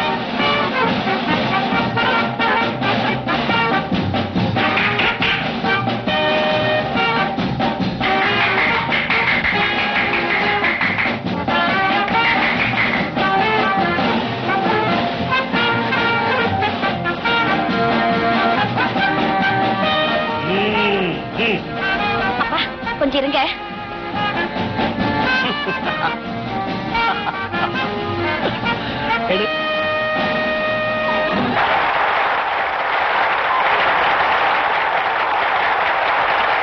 I am very sorry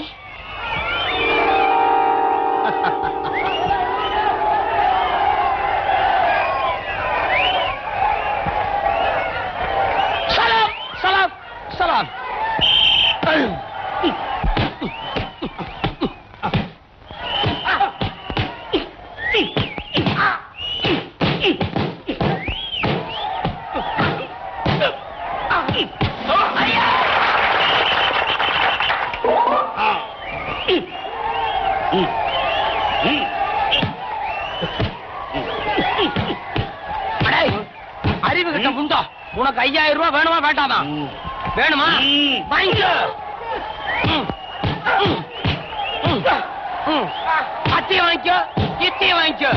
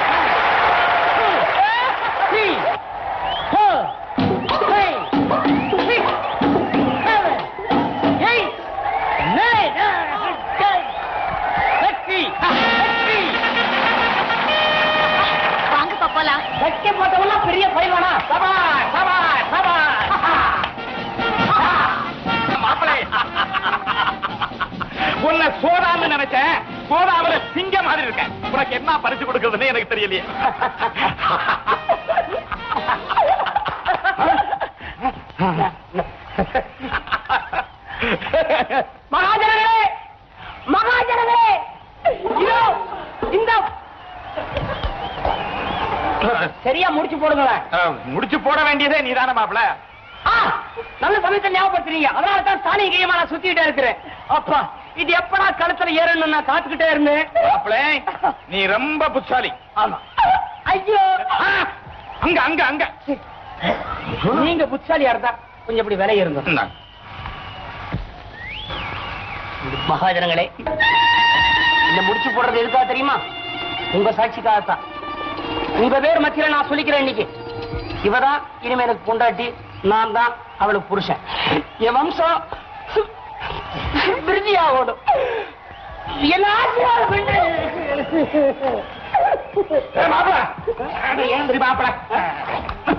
நீங்க விழுவுறது வெளியே தெருவுல நான் வெளியே விழுறேன் அவ்வளவுதான். வெற்றி வெற்றி. சார் சார் நீங்க ஜெயிப்பீங்கன்னு நான் எதிர்பார்க்கவே இல்லை சார்.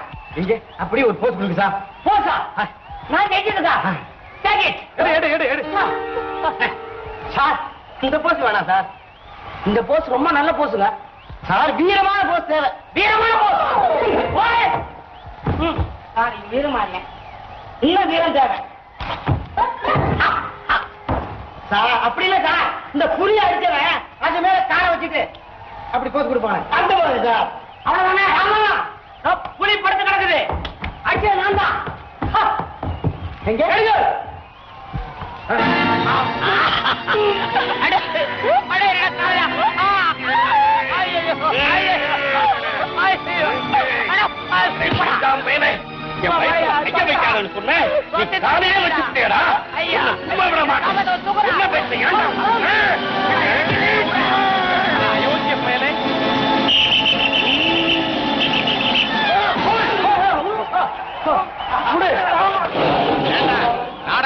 என்ன ஏமாத்துற உன்னை இடிச்சன்னா?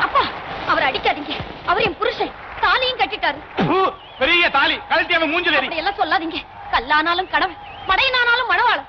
அப்படியா? சரியா மாப்பிள? அடா கிருஷ்ணா. கிருஷ்ணா கிருஷ்ணா.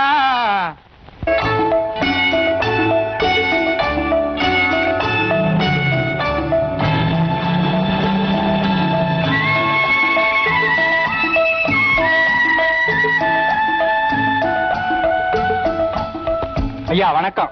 ஓ வணக்கம். நீங்க யாருன்னு நான் தெரிஞ்சுக்கலாமா? நாங்க தமிழ்நாட்டை சேர்ந்தவங்க. ஓ அப்படியா? வாங்க உட்கார்ந்து பேசுவோம். ஆ, உட்காருங்க. ஆ, என்ன விசேஷம்? நாங்க இங்க தமிழ் கலை கழகம்னு ஒண்ணு வச்சு பல கலை நிகழ்ச்சிகளை நடத்திட்டு வரோம். ஓஹோ. நாளைக்கு கூட ஒரு கலை நிகழ்ச்சி இருக்கு. ஏதாவது டிக்கெட் வாங்கிக்கணுமா? கொடுங்க. அதெல்லாம் இல்லைங்க. அந்த நிகழ்ச்சிக்கு நீங்க தலைமை தாங்கி நடத்தி தரணும். ஐயோ இது நம்மால முடியாதுங்க. நான் அந்த அளவுக்கு உயர்ந்தவன்ல என்னை மன்னிச்சிருங்க. அப்படி சொல்லக்கூடாதுங்க. நீங்க பெரிய கலா ரசிகர்னு எங்களுக்கு தெரியும். தமிழ்நாட்டுல பல கலைக்கூடங்க உங்க ஆதரவுல நடக்கிறதும் எங்களுக்கு தெரியும். என்ன எனக்கு தெரிஞ்சாச்சு. சரி வர்றேன். இது குளிர் பிரதேசம் கலை நிகழ்ச்சி பகல் ரெண்டு மணிக்கே ஆரம்பிச்சு நாலு மணிக்கு முடிஞ்சிடும். கண்டிப்பா ரெண்டு மணிக்கே இங்க வந்துடுறேன்.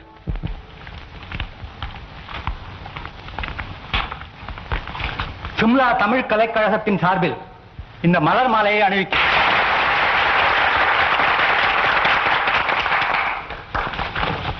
ஆரம்பிக்கலாமா சார் ஓ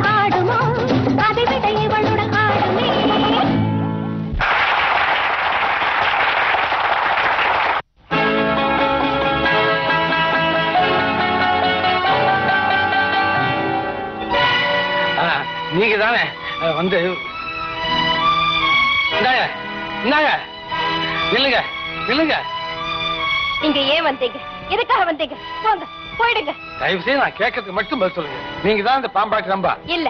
அப்போ? பைத்தியக்காரியா நடிச்ச ராணியா? அதுவும் இல்ல ஏன் சீதாவா? ஆமா ஆமா ஆமா. உங்க காத்து கூட என் மேல படக்கூடாதுன்னு தான் ஆயிரத்தி ஐநூறு மைல் தாண்டி இங்க ஓடி வந்தேன். மறுபடியும் ஏன் என் வாழ்க்கையில குறுக்க வரீங்க?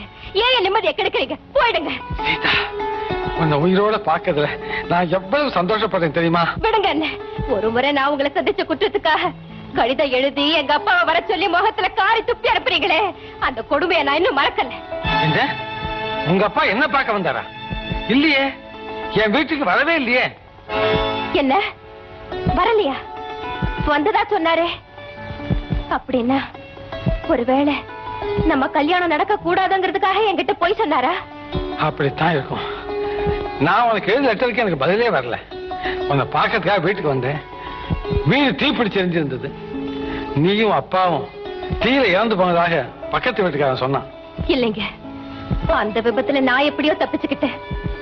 ஆனா அப்பாதான் என்ன அனாதைய தவிக்க விட்டுட்டு போயிட்டாரு. அழாதே சீதா. அழாதே. நீ இனிமே அழாதே இல்லை. என்ன நீ இல்லைன்னா எனக்கு வாழ்வே இல்லை. அழாதே. ஆமா இப்ப எங்க இருக்க? எங்க அத்தை வீட்டுல இருக்கேன்.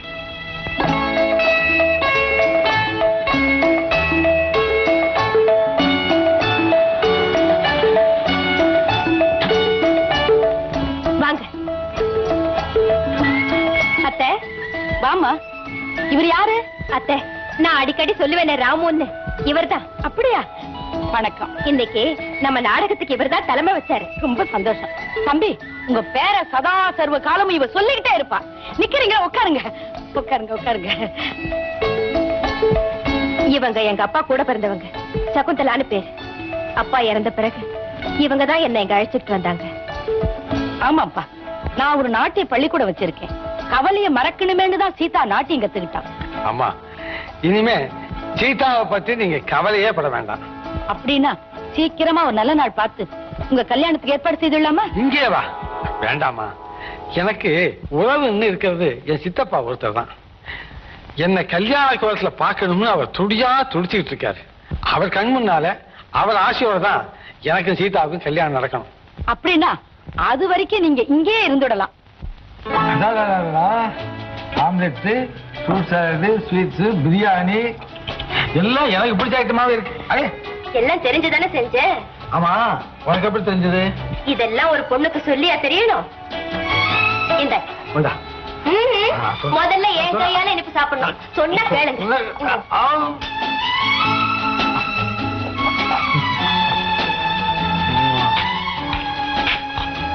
போலாம். புருஷங்க போதும் போதும் சொன்னாலே இன்னும் வேணும் வேணும்னு பொருள் பாருங்க. இங்க என்ன தவிர வேற யாரும் இல்ல. சும்மா வைக்கப்படாம சாப்பிடுங்க.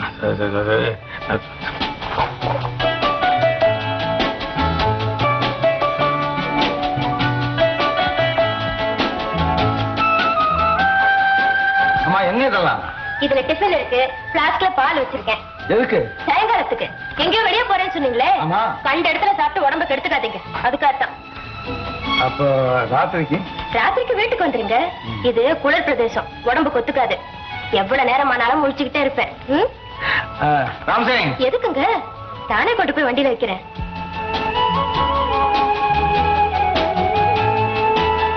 பசியில் அமுதளிக்கும் அன்னையுமாய். ஓகே.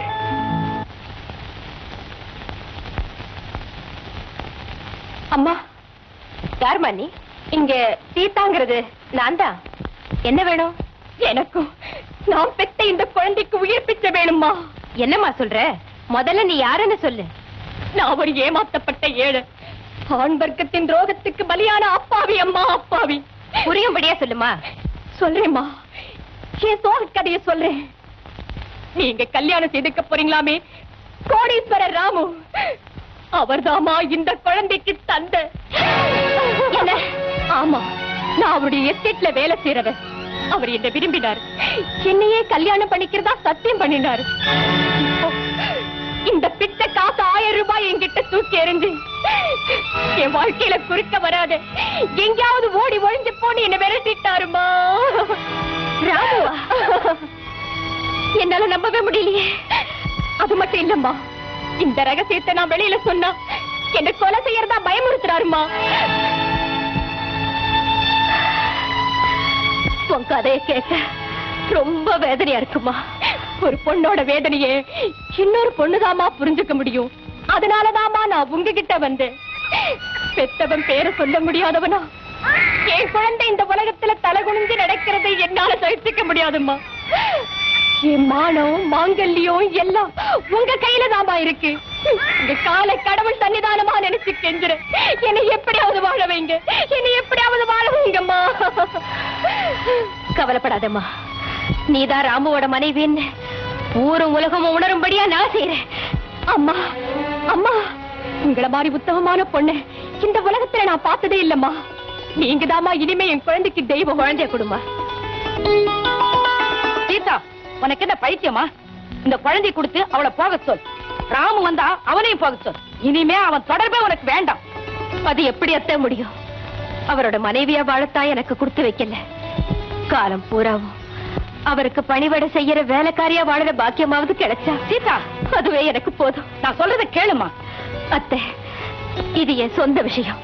தயவு செய்து இதுல தலையிட வேண்டாம். சீதா ஏது இந்த குழந்தை? நம்ம குழந்தை. நம்ம குழந்தையா? என்ன சொல்ற? உனக்கு ஒரு குழந்தை இருக்க சரி எனக்கு ஏன் மறைச்ச? ஓஹோ நாடக மேடை நடிக்க நடிப்பை எங்கிட்டே காட்டுறியா? இதுக்காகத்தான் உன்னை தேடி நீ இவ்வளவு கேவலமானவளா? இவ்வளவு மோசமானவளா? உண்மை சொல்லு. இந்த அவமானத்துக்கு அப்புறம் யாரு? நீங்க தான் என்ன? நானா? என்ன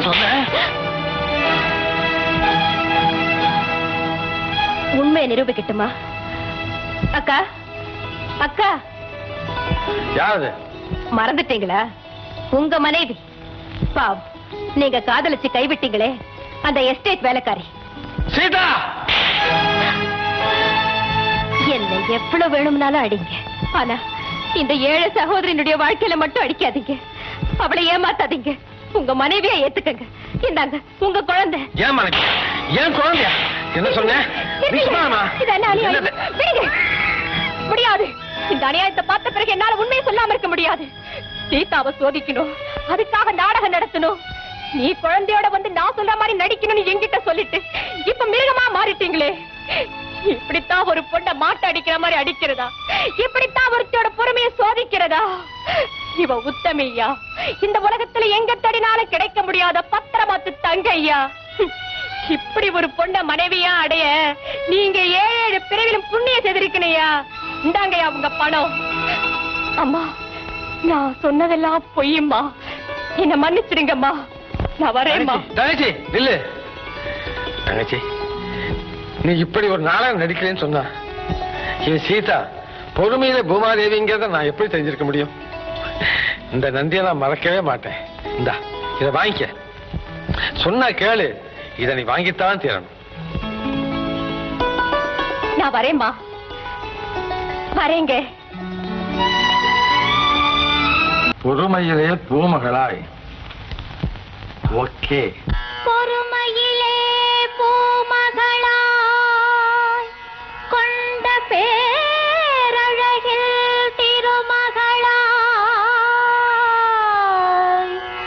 காட்சியில் அமுதளிக்கும் அன்னையுமாய். காதல் அரவணைப்பில் கணிகையுமாய். ஊழியத்தில் பணிப்பெண்ணாய் அறிவை உரைப்பதிலே அமைச்சனுமாய். வாழுகின்ற பெண்ணெவளோ அவளே வளமார்ந்த குலமகளா.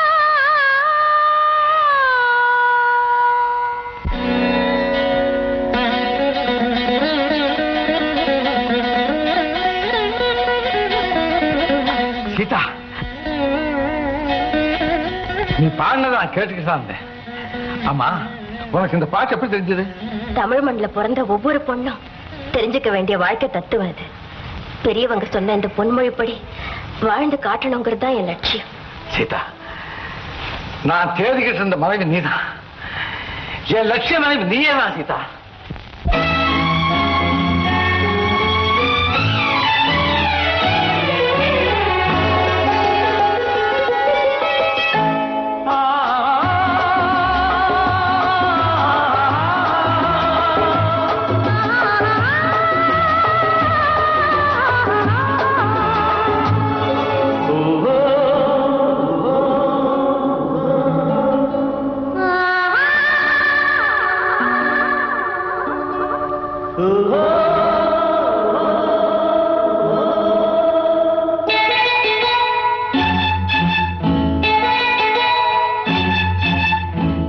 கனிந்தது கண்ணே. கனவு கனிந்தது நன்றி உனக்கு. உறவில் எழுந்தது அன்பு விளக்கு எனது மடியினில் வா.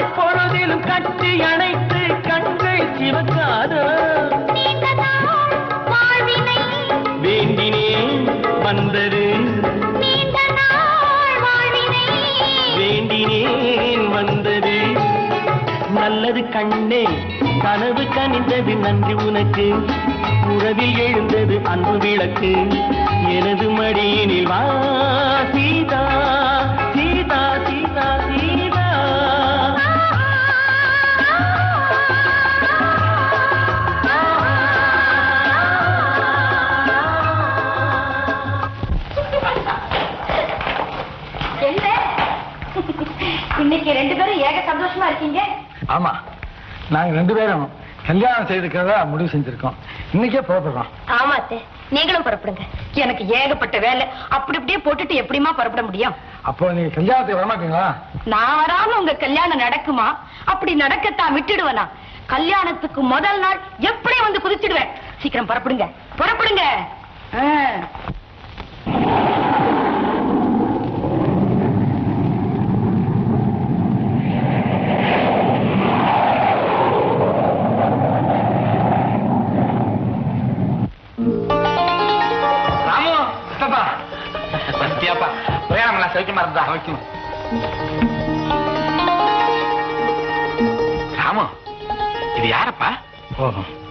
மறந்துட்டேன் சித்தப்பா?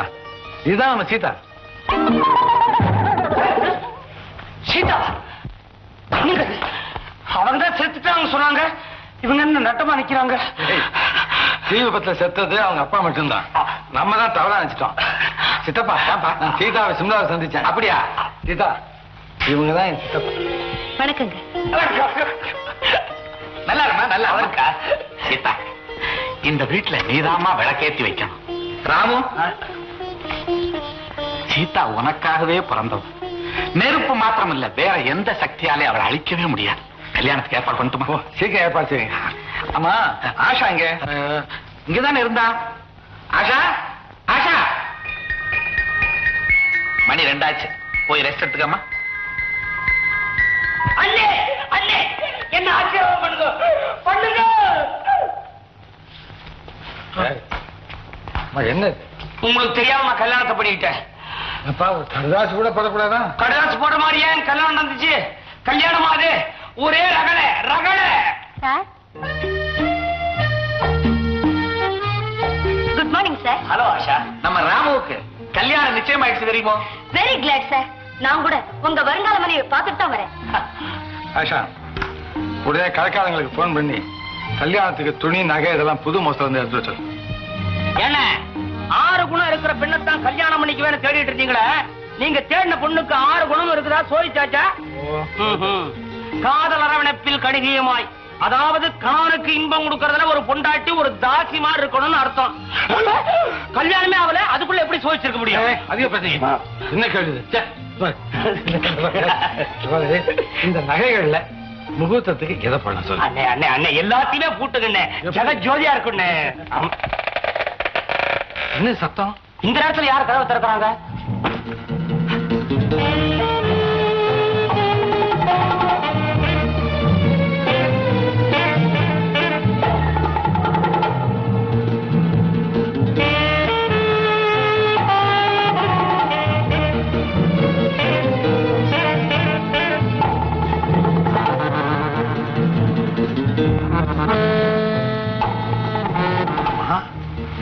இவங்க எங்க வந்தாங்க இங்க? யாருண்ணே இவனுங்க? அப்ப சொல்றேன். ஏதோ சரி நடக்குது.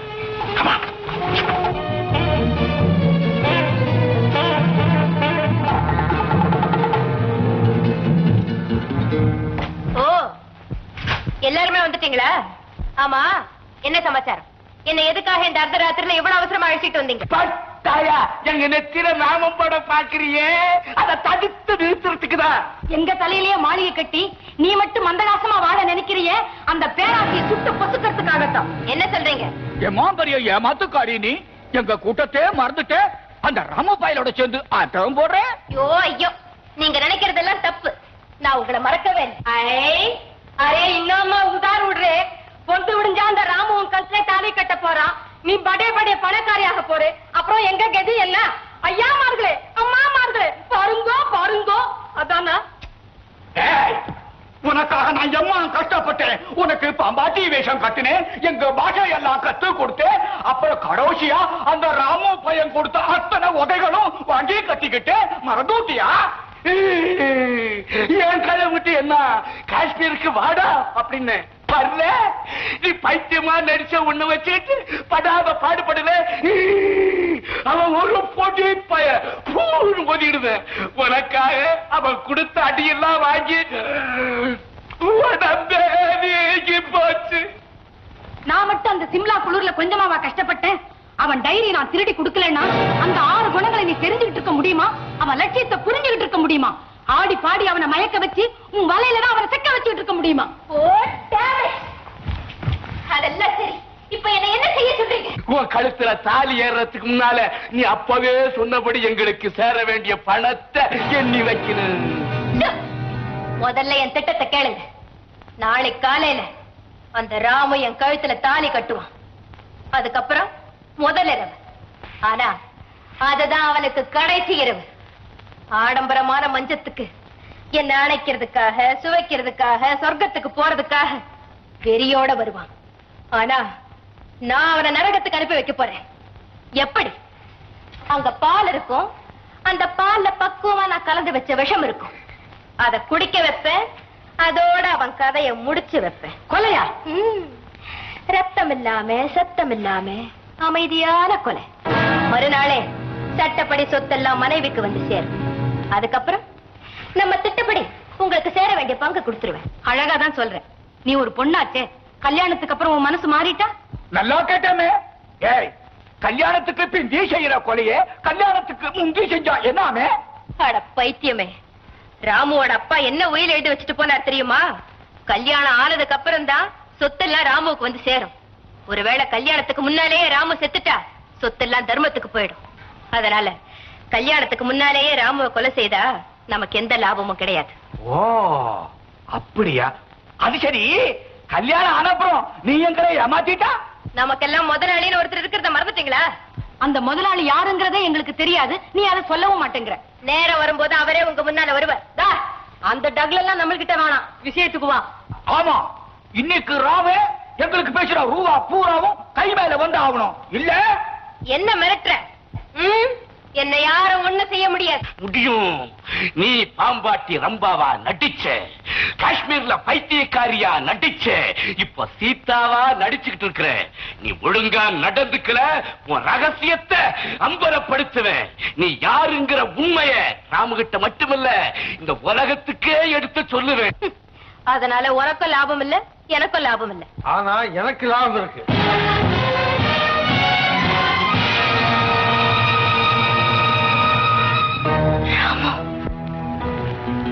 ராமு நீங்களா? ஆமா நான் தான். நீ யார்? என்ன அப்படி கேக்குறீங்க? நான் நான் தான் உங்க சீதா.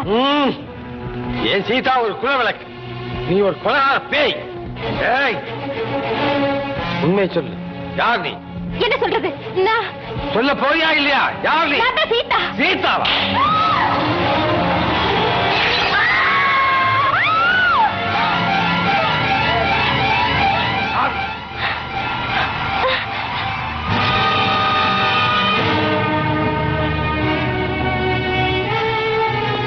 நீயா செக்ரட்டரி ஆஷா. ஏன் பாத்துக்கிட்டு இருக்கீங்க?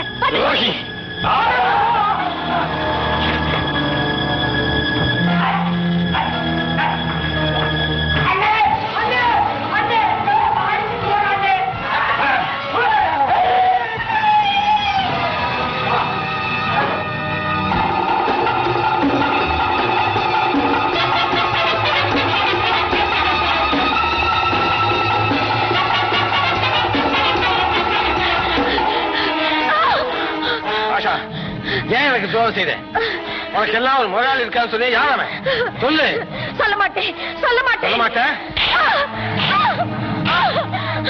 கிட்ட வராதே. சுட்டுடுவேன் சுட்டுடுவேன் கிட்ட நெருங்காதே. சுட்டுடுவேன்.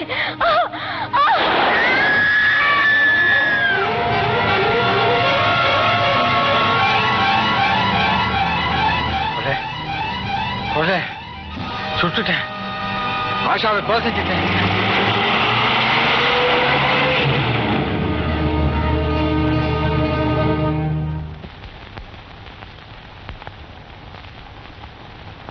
ஆஷா! முதலாளி எப்படி என் அம்மா! என் துப்பாக்கியில இருந்தது போலி குண்டுதான். அதை தெரிஞ்சுக்காம என்ன கொண்டுட்டதா நினைச்சு ஓடி போயிட்டா ராமு. இனிமே அவன் என்னைக்குமே கொலகாரன் தான். ஆமா! அவன் என்னைக்குமே கொலைகாரனா இருக்கணும்னா நீ உண்மையாவே செத்தாகும்.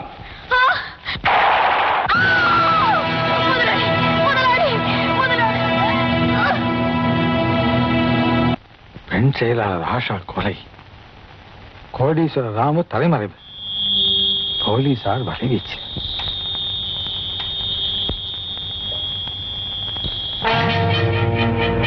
Thank you.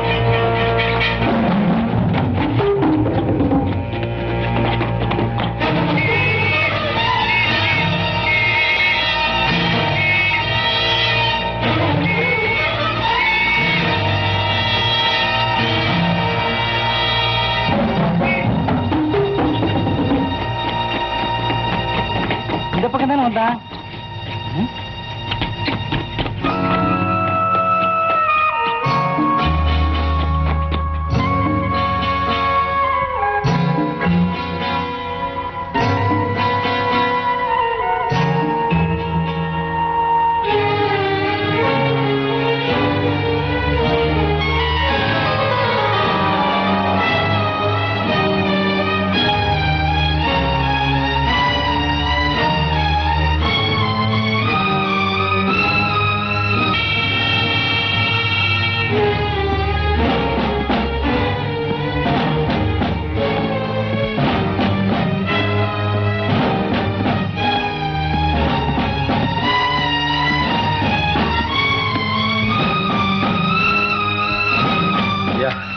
சோடா கொடுங்க. சோடாவா?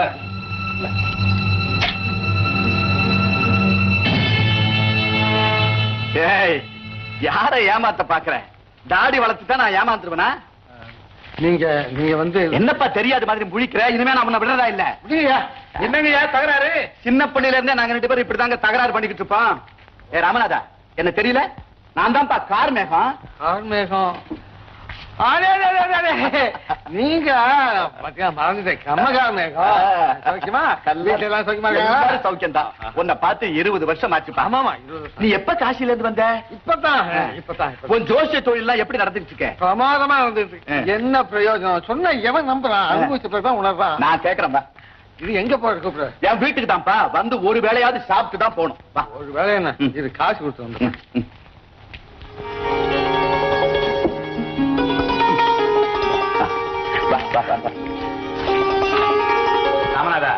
இதுதான் என் வீடு. சீதா அம்மா சீதா.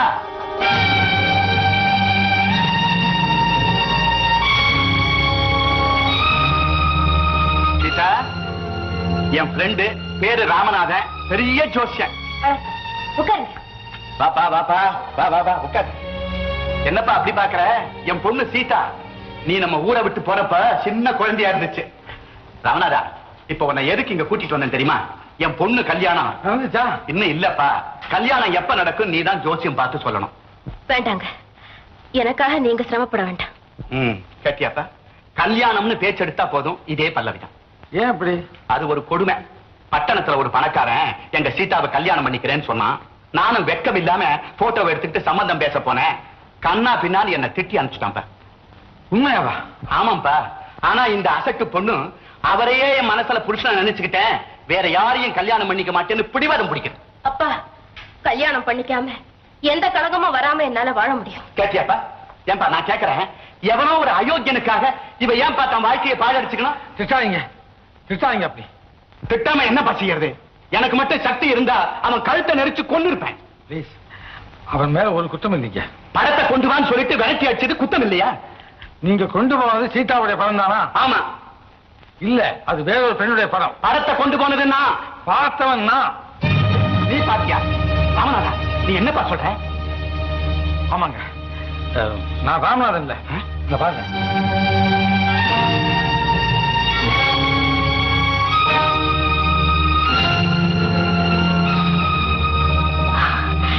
ராமுவா?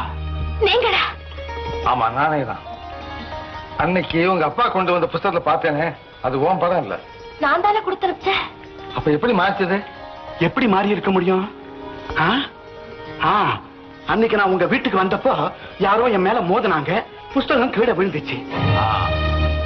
என் வீட்டுல தான் மாறி இருக்கணும் இதுக்கும் அந்த செக்ரட்டரி தான் காரணமா இருந்திருப்பா. அப்படின்னா என் வீட்டுக்கு நெருப்பு வச்சதும் அவ ஏற்பாடா தான் இருக்குமோ? இருக்கும் இருக்கும்.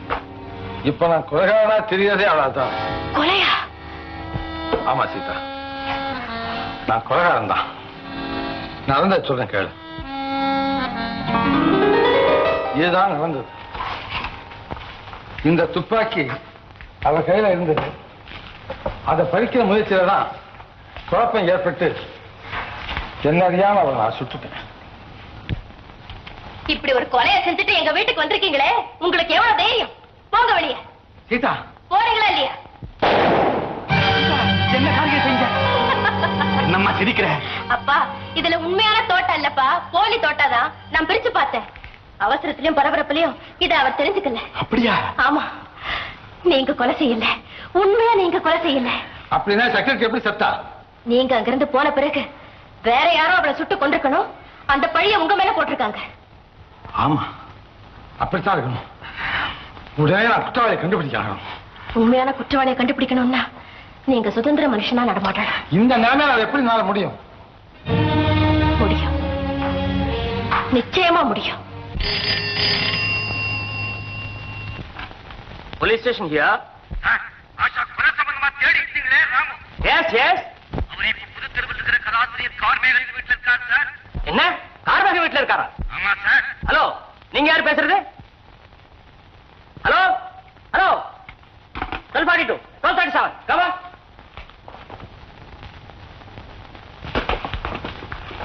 secretary Asha கொலை சம்பந்தமா தேடிக்கிட்டு இருந்தோமே அந்த ராம இவர்தான் சார். இவரை கைது பண்ணிருக்கிறோம் வெல் மிஸ்டர் ராமு நீங்களும் அந்த கொலை செய்தீங்க. அப்படித்தான் சொல்றாங்க சார். ஆனா உண்மை அது இல்ல. கரெக்ட் உண்மையான குற்றவாளி இப்பதான் நீங்க சரணடைஞ்சாச்சு. அப்படியா? யார் சார் அந்த பாவி? நான் பார்க்கலாமா? ஓ எஸ் of course. வாங்க ப்ளீஸ் சார் ஒரு பெண்ணா கொலைச்சா சொல்றீங்க? ஆமா. யாருங்க இந்தாம்மா.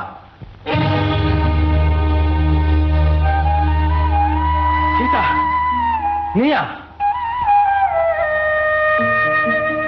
சார் சீதாவா கொலை செய்தது இருக்கா சார்? இருக்கவே இருக்கா சார்? வெல் மிஸ்டர் ராமு ஆதாரத்தை இவங்களே கொடுத்திருக்காங்க சீதா உங்களை காதலிச்சாங்களாம். ஆனா நீங்க உங்க செக்ரட்டரி ஆஷாவை கல்யாணம் செய்துக்க முடிவு செய்துட்டீங்களாம். அதனால ஏற்பட்ட ஏமாற்றத்தால பொறாமையால சீதா ஆஷாவை கொலை செய்துட்டாங்களாம். எழுதி கொடுத்திருக்காங்க சார். டெலிபோன் அப்படியா? Excuse mister Ramu. சார். இந்த அம்மாட்ட நிமிஷம் பேசலாமா? பேசுங்களேன். சீதா என்ன இதெல்லாம்? ஏன் இந்த பரிசு வந்துகிட்ட? நான் தான் சொன்னேனே.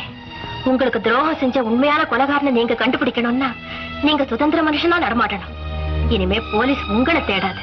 நீங்க கொலகாரனை தேடலாம். ஐயோ கொலைகாரனை நான் கண்டுபிடிக்க முடியாம போயிட்டா? ஒண்ணும் ஆயிடாது. என்ன தூக்குல போடுவாங்க? சீதா. உங்களுக்காக அந்த தியாகத்தை மனப்பூர்வமா ஏத்துக்கிறேன். சீதா. மிஸ்டர் ராமு வரீங்களா?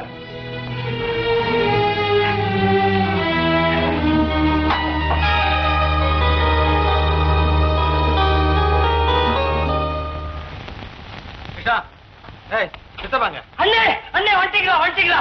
சித்தப்பா உங்களை கூட்டி வரதுக்காக தான் கார் எடுத்துட்டு போயிருக்காருங்க. அதுக்கு முன்னாடி நீங்க வந்துட்டீங்க. பெருசா அரைஞ்சீங்களே சீதா சீதான்னு. அவ பண்ண வேலையை பாத்தீங்களா அவதான் செக்ரட்டரிய சீதாவை பத்தி உனக்கு ஒண்ணுமே தெரியாது. பாவம். என்ன காப்பாத்தத்தான் அந்த பழி அவ சுமந்துகிட்டு இருக்கா. அப்படியா? உங்களுக்கு ஏத்த மனைவின்னு அவங்க நிரூபிச்சிட்டாங்க. அவளுக்கு ஏத்த கிழவன் தான் நான்கு நிரூபிக்க வேண்டாமா? ம். புறப்படு எங்க? என் பாக்கியோட விளையாடுற வஞ்ச கூட்டத்தை கண்டுபிடிக்க என் அன்பு தெய்வத்தை விடுதலை செய்ய. நம்ம வீச போறமே வேலை. அதுல மாட்ட போற முதல் வில்லன் யாரு? பாம்பாட்டி பைரவன்.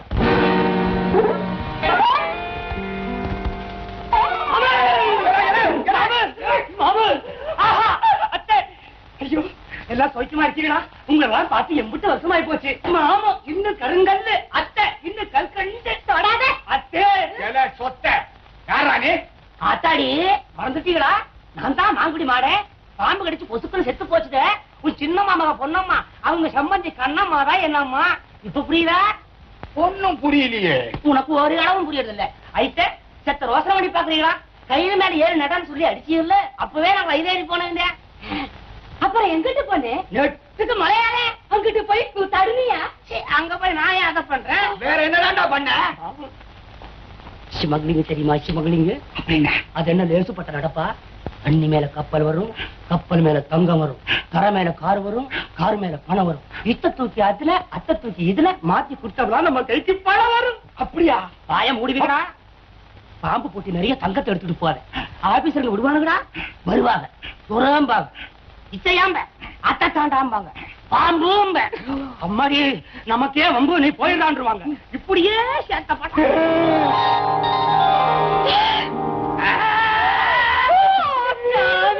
எம்மா பணம் எம்மா பணம் அம்முட்டு அத்துக்கிட்டேன்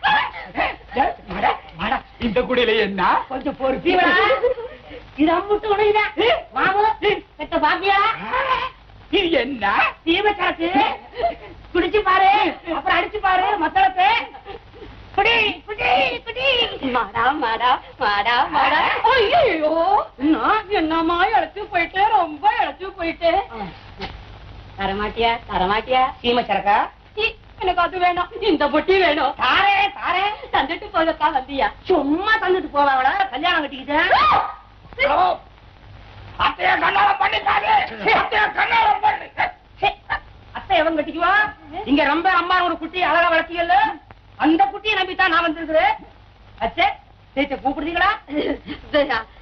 அந்த புள்ள இப்ப இங்க இல்ல. இல்ல? ஐயோ எப்படி வாயில மண்ண போடுவீங்களா? நான் போறேன். நாளைக்கு இம்மா நேரத்துக்குள்ள உனக்கு ஒசத்தி பொண்ணா பார்த்து காட்டி வைக்கிறேன். வேணாம் வேணாம் வேணாம் அந்த குட்டி இல்லைன்னா இந்த பொட்டி இல்ல. நான் போட்டுங்களா மாடா மாடா மாடா மாடா. வாய்க்கு மையான செய்தி கேட்டுக்கோடா. அந்த ரம்பா நம்ப சாதி குட்டி இல்ல. உறவு? ராமுன்னு ஒரு பணக்காரரு பக்கத்து ஊர்ல இருக்காரு. இவோ அந்த ஆளோட செக்ரட்டரி அந்த ஆளை கல்யாணம் கட்டிக்கிறதுக்காக இவோ நம்மள மாதிரி வேஷம் போட்டுக்கிட்டு என்னென்னமோ பண்ணுனா. அண்ணே. யாரே கூப்பிடுறேன் வருவாரு பாரு. சேத்த வரீங்களா? சாமி நீயா? ஆமா அது பெரிய சாமி நான் சின்ன சாமி சாமி கும்பிடு. கும்பிடு செக்ரட்டரி சொன்னியே அவளை கொலை செய்தது யார்? ஐயோ யாரு? எப்போ? எனக்கு தெரியாது அண்ணே அண்ணே அவனை புடிச்சு கேட்டா சொல்ல மாட்டான். அடிச்சு கேட்டா ஒரு புடி.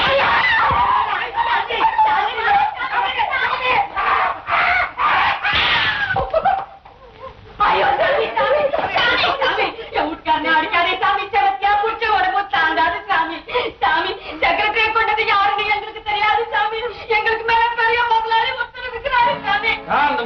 நமக்கும் தெரியாது செமிச்சு அப்படியே நின்றாரு அப்பதான் ஒழுங்கா மரியாதை உண்மை சொல்லுவா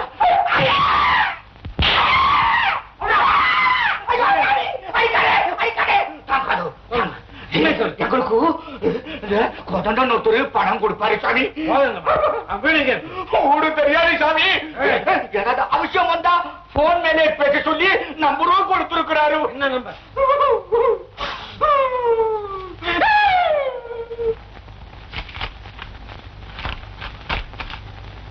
double five double four three hello சாமியோ கோதண்ட சாமியா பேசுறது?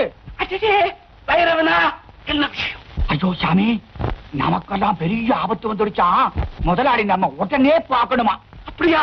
எங்க சந்திக்கிறது? வழக்கமா சந்திக்கிற சில கூடத்துல தானே. என்ன சாமி இது? அந்த இடத்தை தான் நம்ம ராமு பையன் கண்டுகிட்டானே. அதனால ஊர்கோடியில இருக்க அறிவிக்கரை அறிவிக்கரையா ஆமா அங்க சந்திக்கணுமா? எப்போ எப்போ? நல்லா கேள்வி கேட்ட சாமி. போ சாமி நீ. உடனே புறப்படும் சொன்னா புறப்படு சாமி.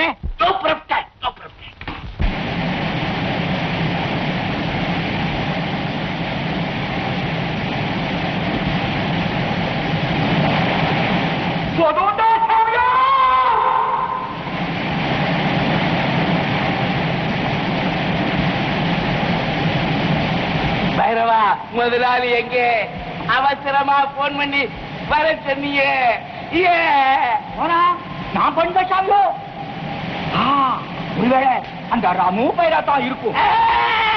ராமுவா. அவன் தான் சாமி. என் வீட்டுக்கு வந்தான். நான் சிமேஷருக்கு போட்ட மயக்கத்துல ஒன்பது நம்பரே கொடுத்துட்டேன் கோச்சுக்காதே சாமியோ. அதை சொல்லத்தான் உன் வீட்டுக்கு போனேன். நீங்க கூட்டுதான் சொன்னாங்க. போதுங்க சாமியோ எனக்கு பயமா இருக்கு சாமியோ. பயப்படாதே. வா முதலாளிட்ட சொல்வோம்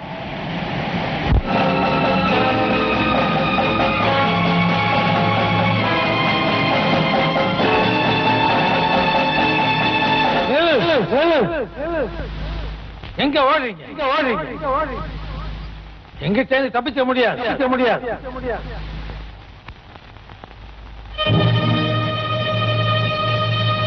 நெல்.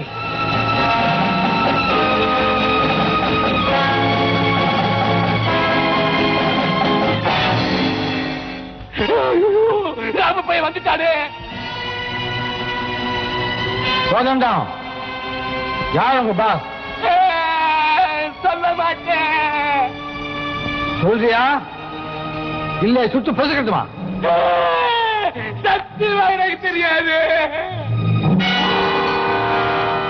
என்ன ஏமாத்த முடியாது. எங்க அந்த பைரவன்? பைரவனை காணவே பாவி பையன் தந்தாம போயிட்டானே. ஏ பைரவா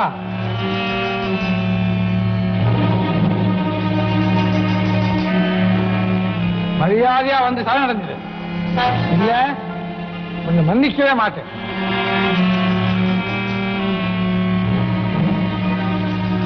ஏய் பைரவா பைரவா.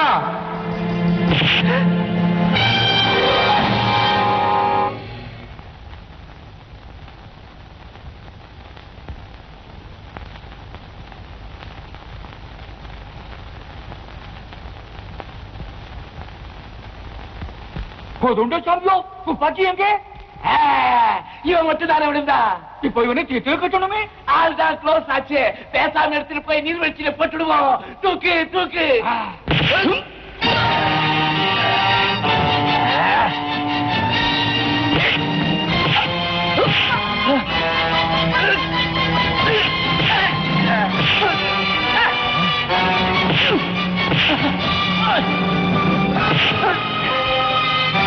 அவனே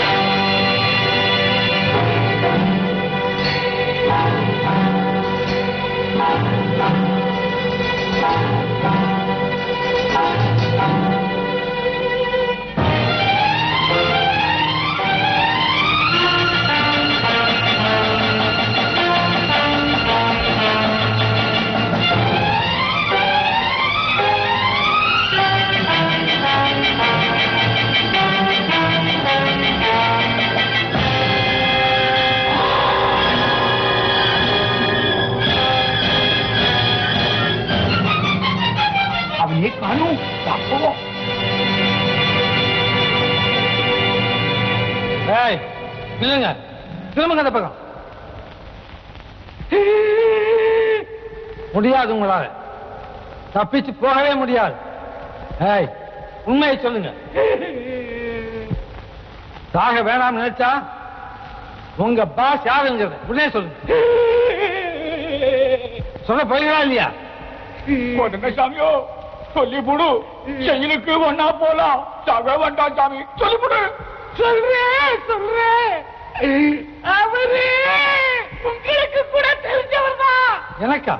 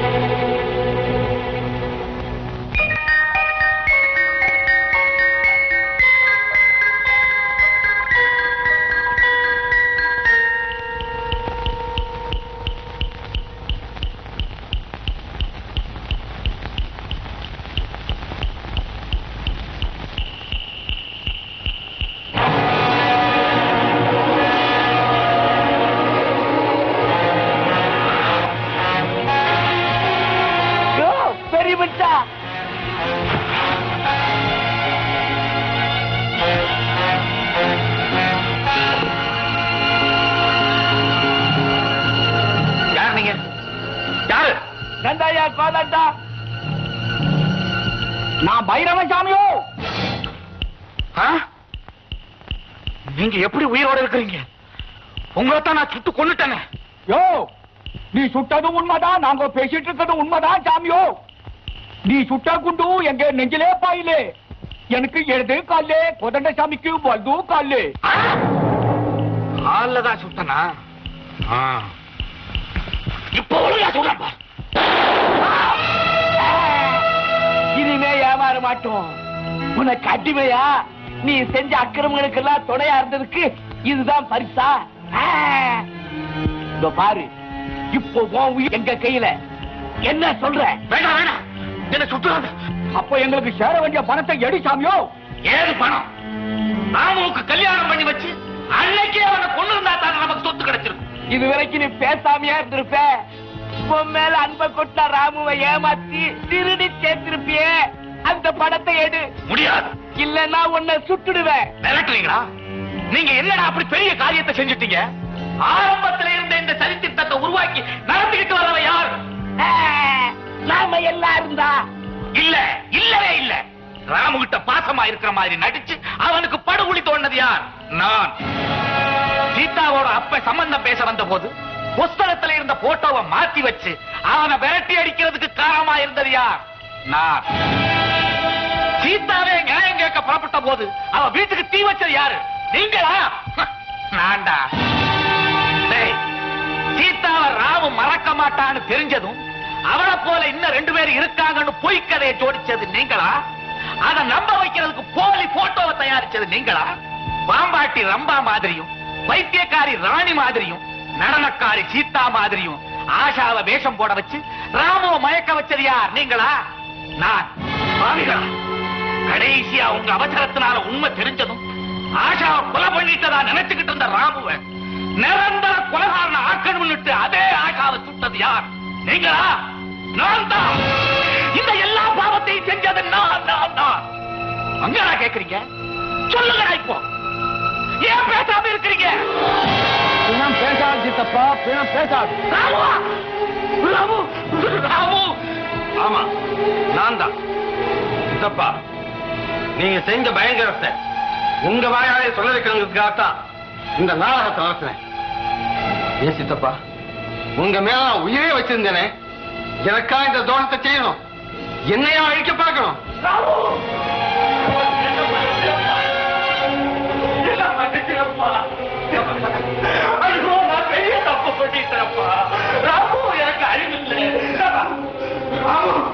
பணம் பாசத்தை அறிவமாயிக்கணும் பணத்தை ஆட்டினால நான் என்னென்னமோ பண்ணிட்டேன் ராமு ராமு சித்தப்பா என்ன சுத்து கொண்டாத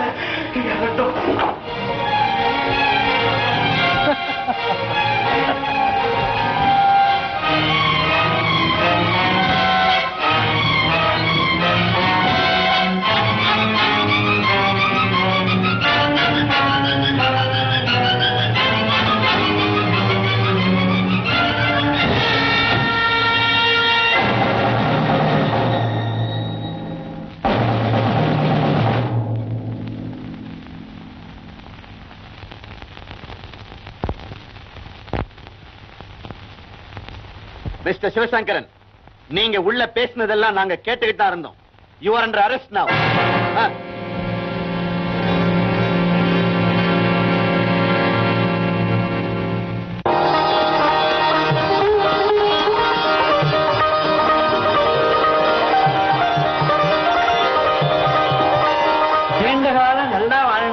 தீர்க்க சுமங்கலியா இடம். அம்மா உன் பேர் என்ன? சீதா. தம்பி? ராமனு கேட்ட செய்தியை கண்டுபிடிச்சிட்டியா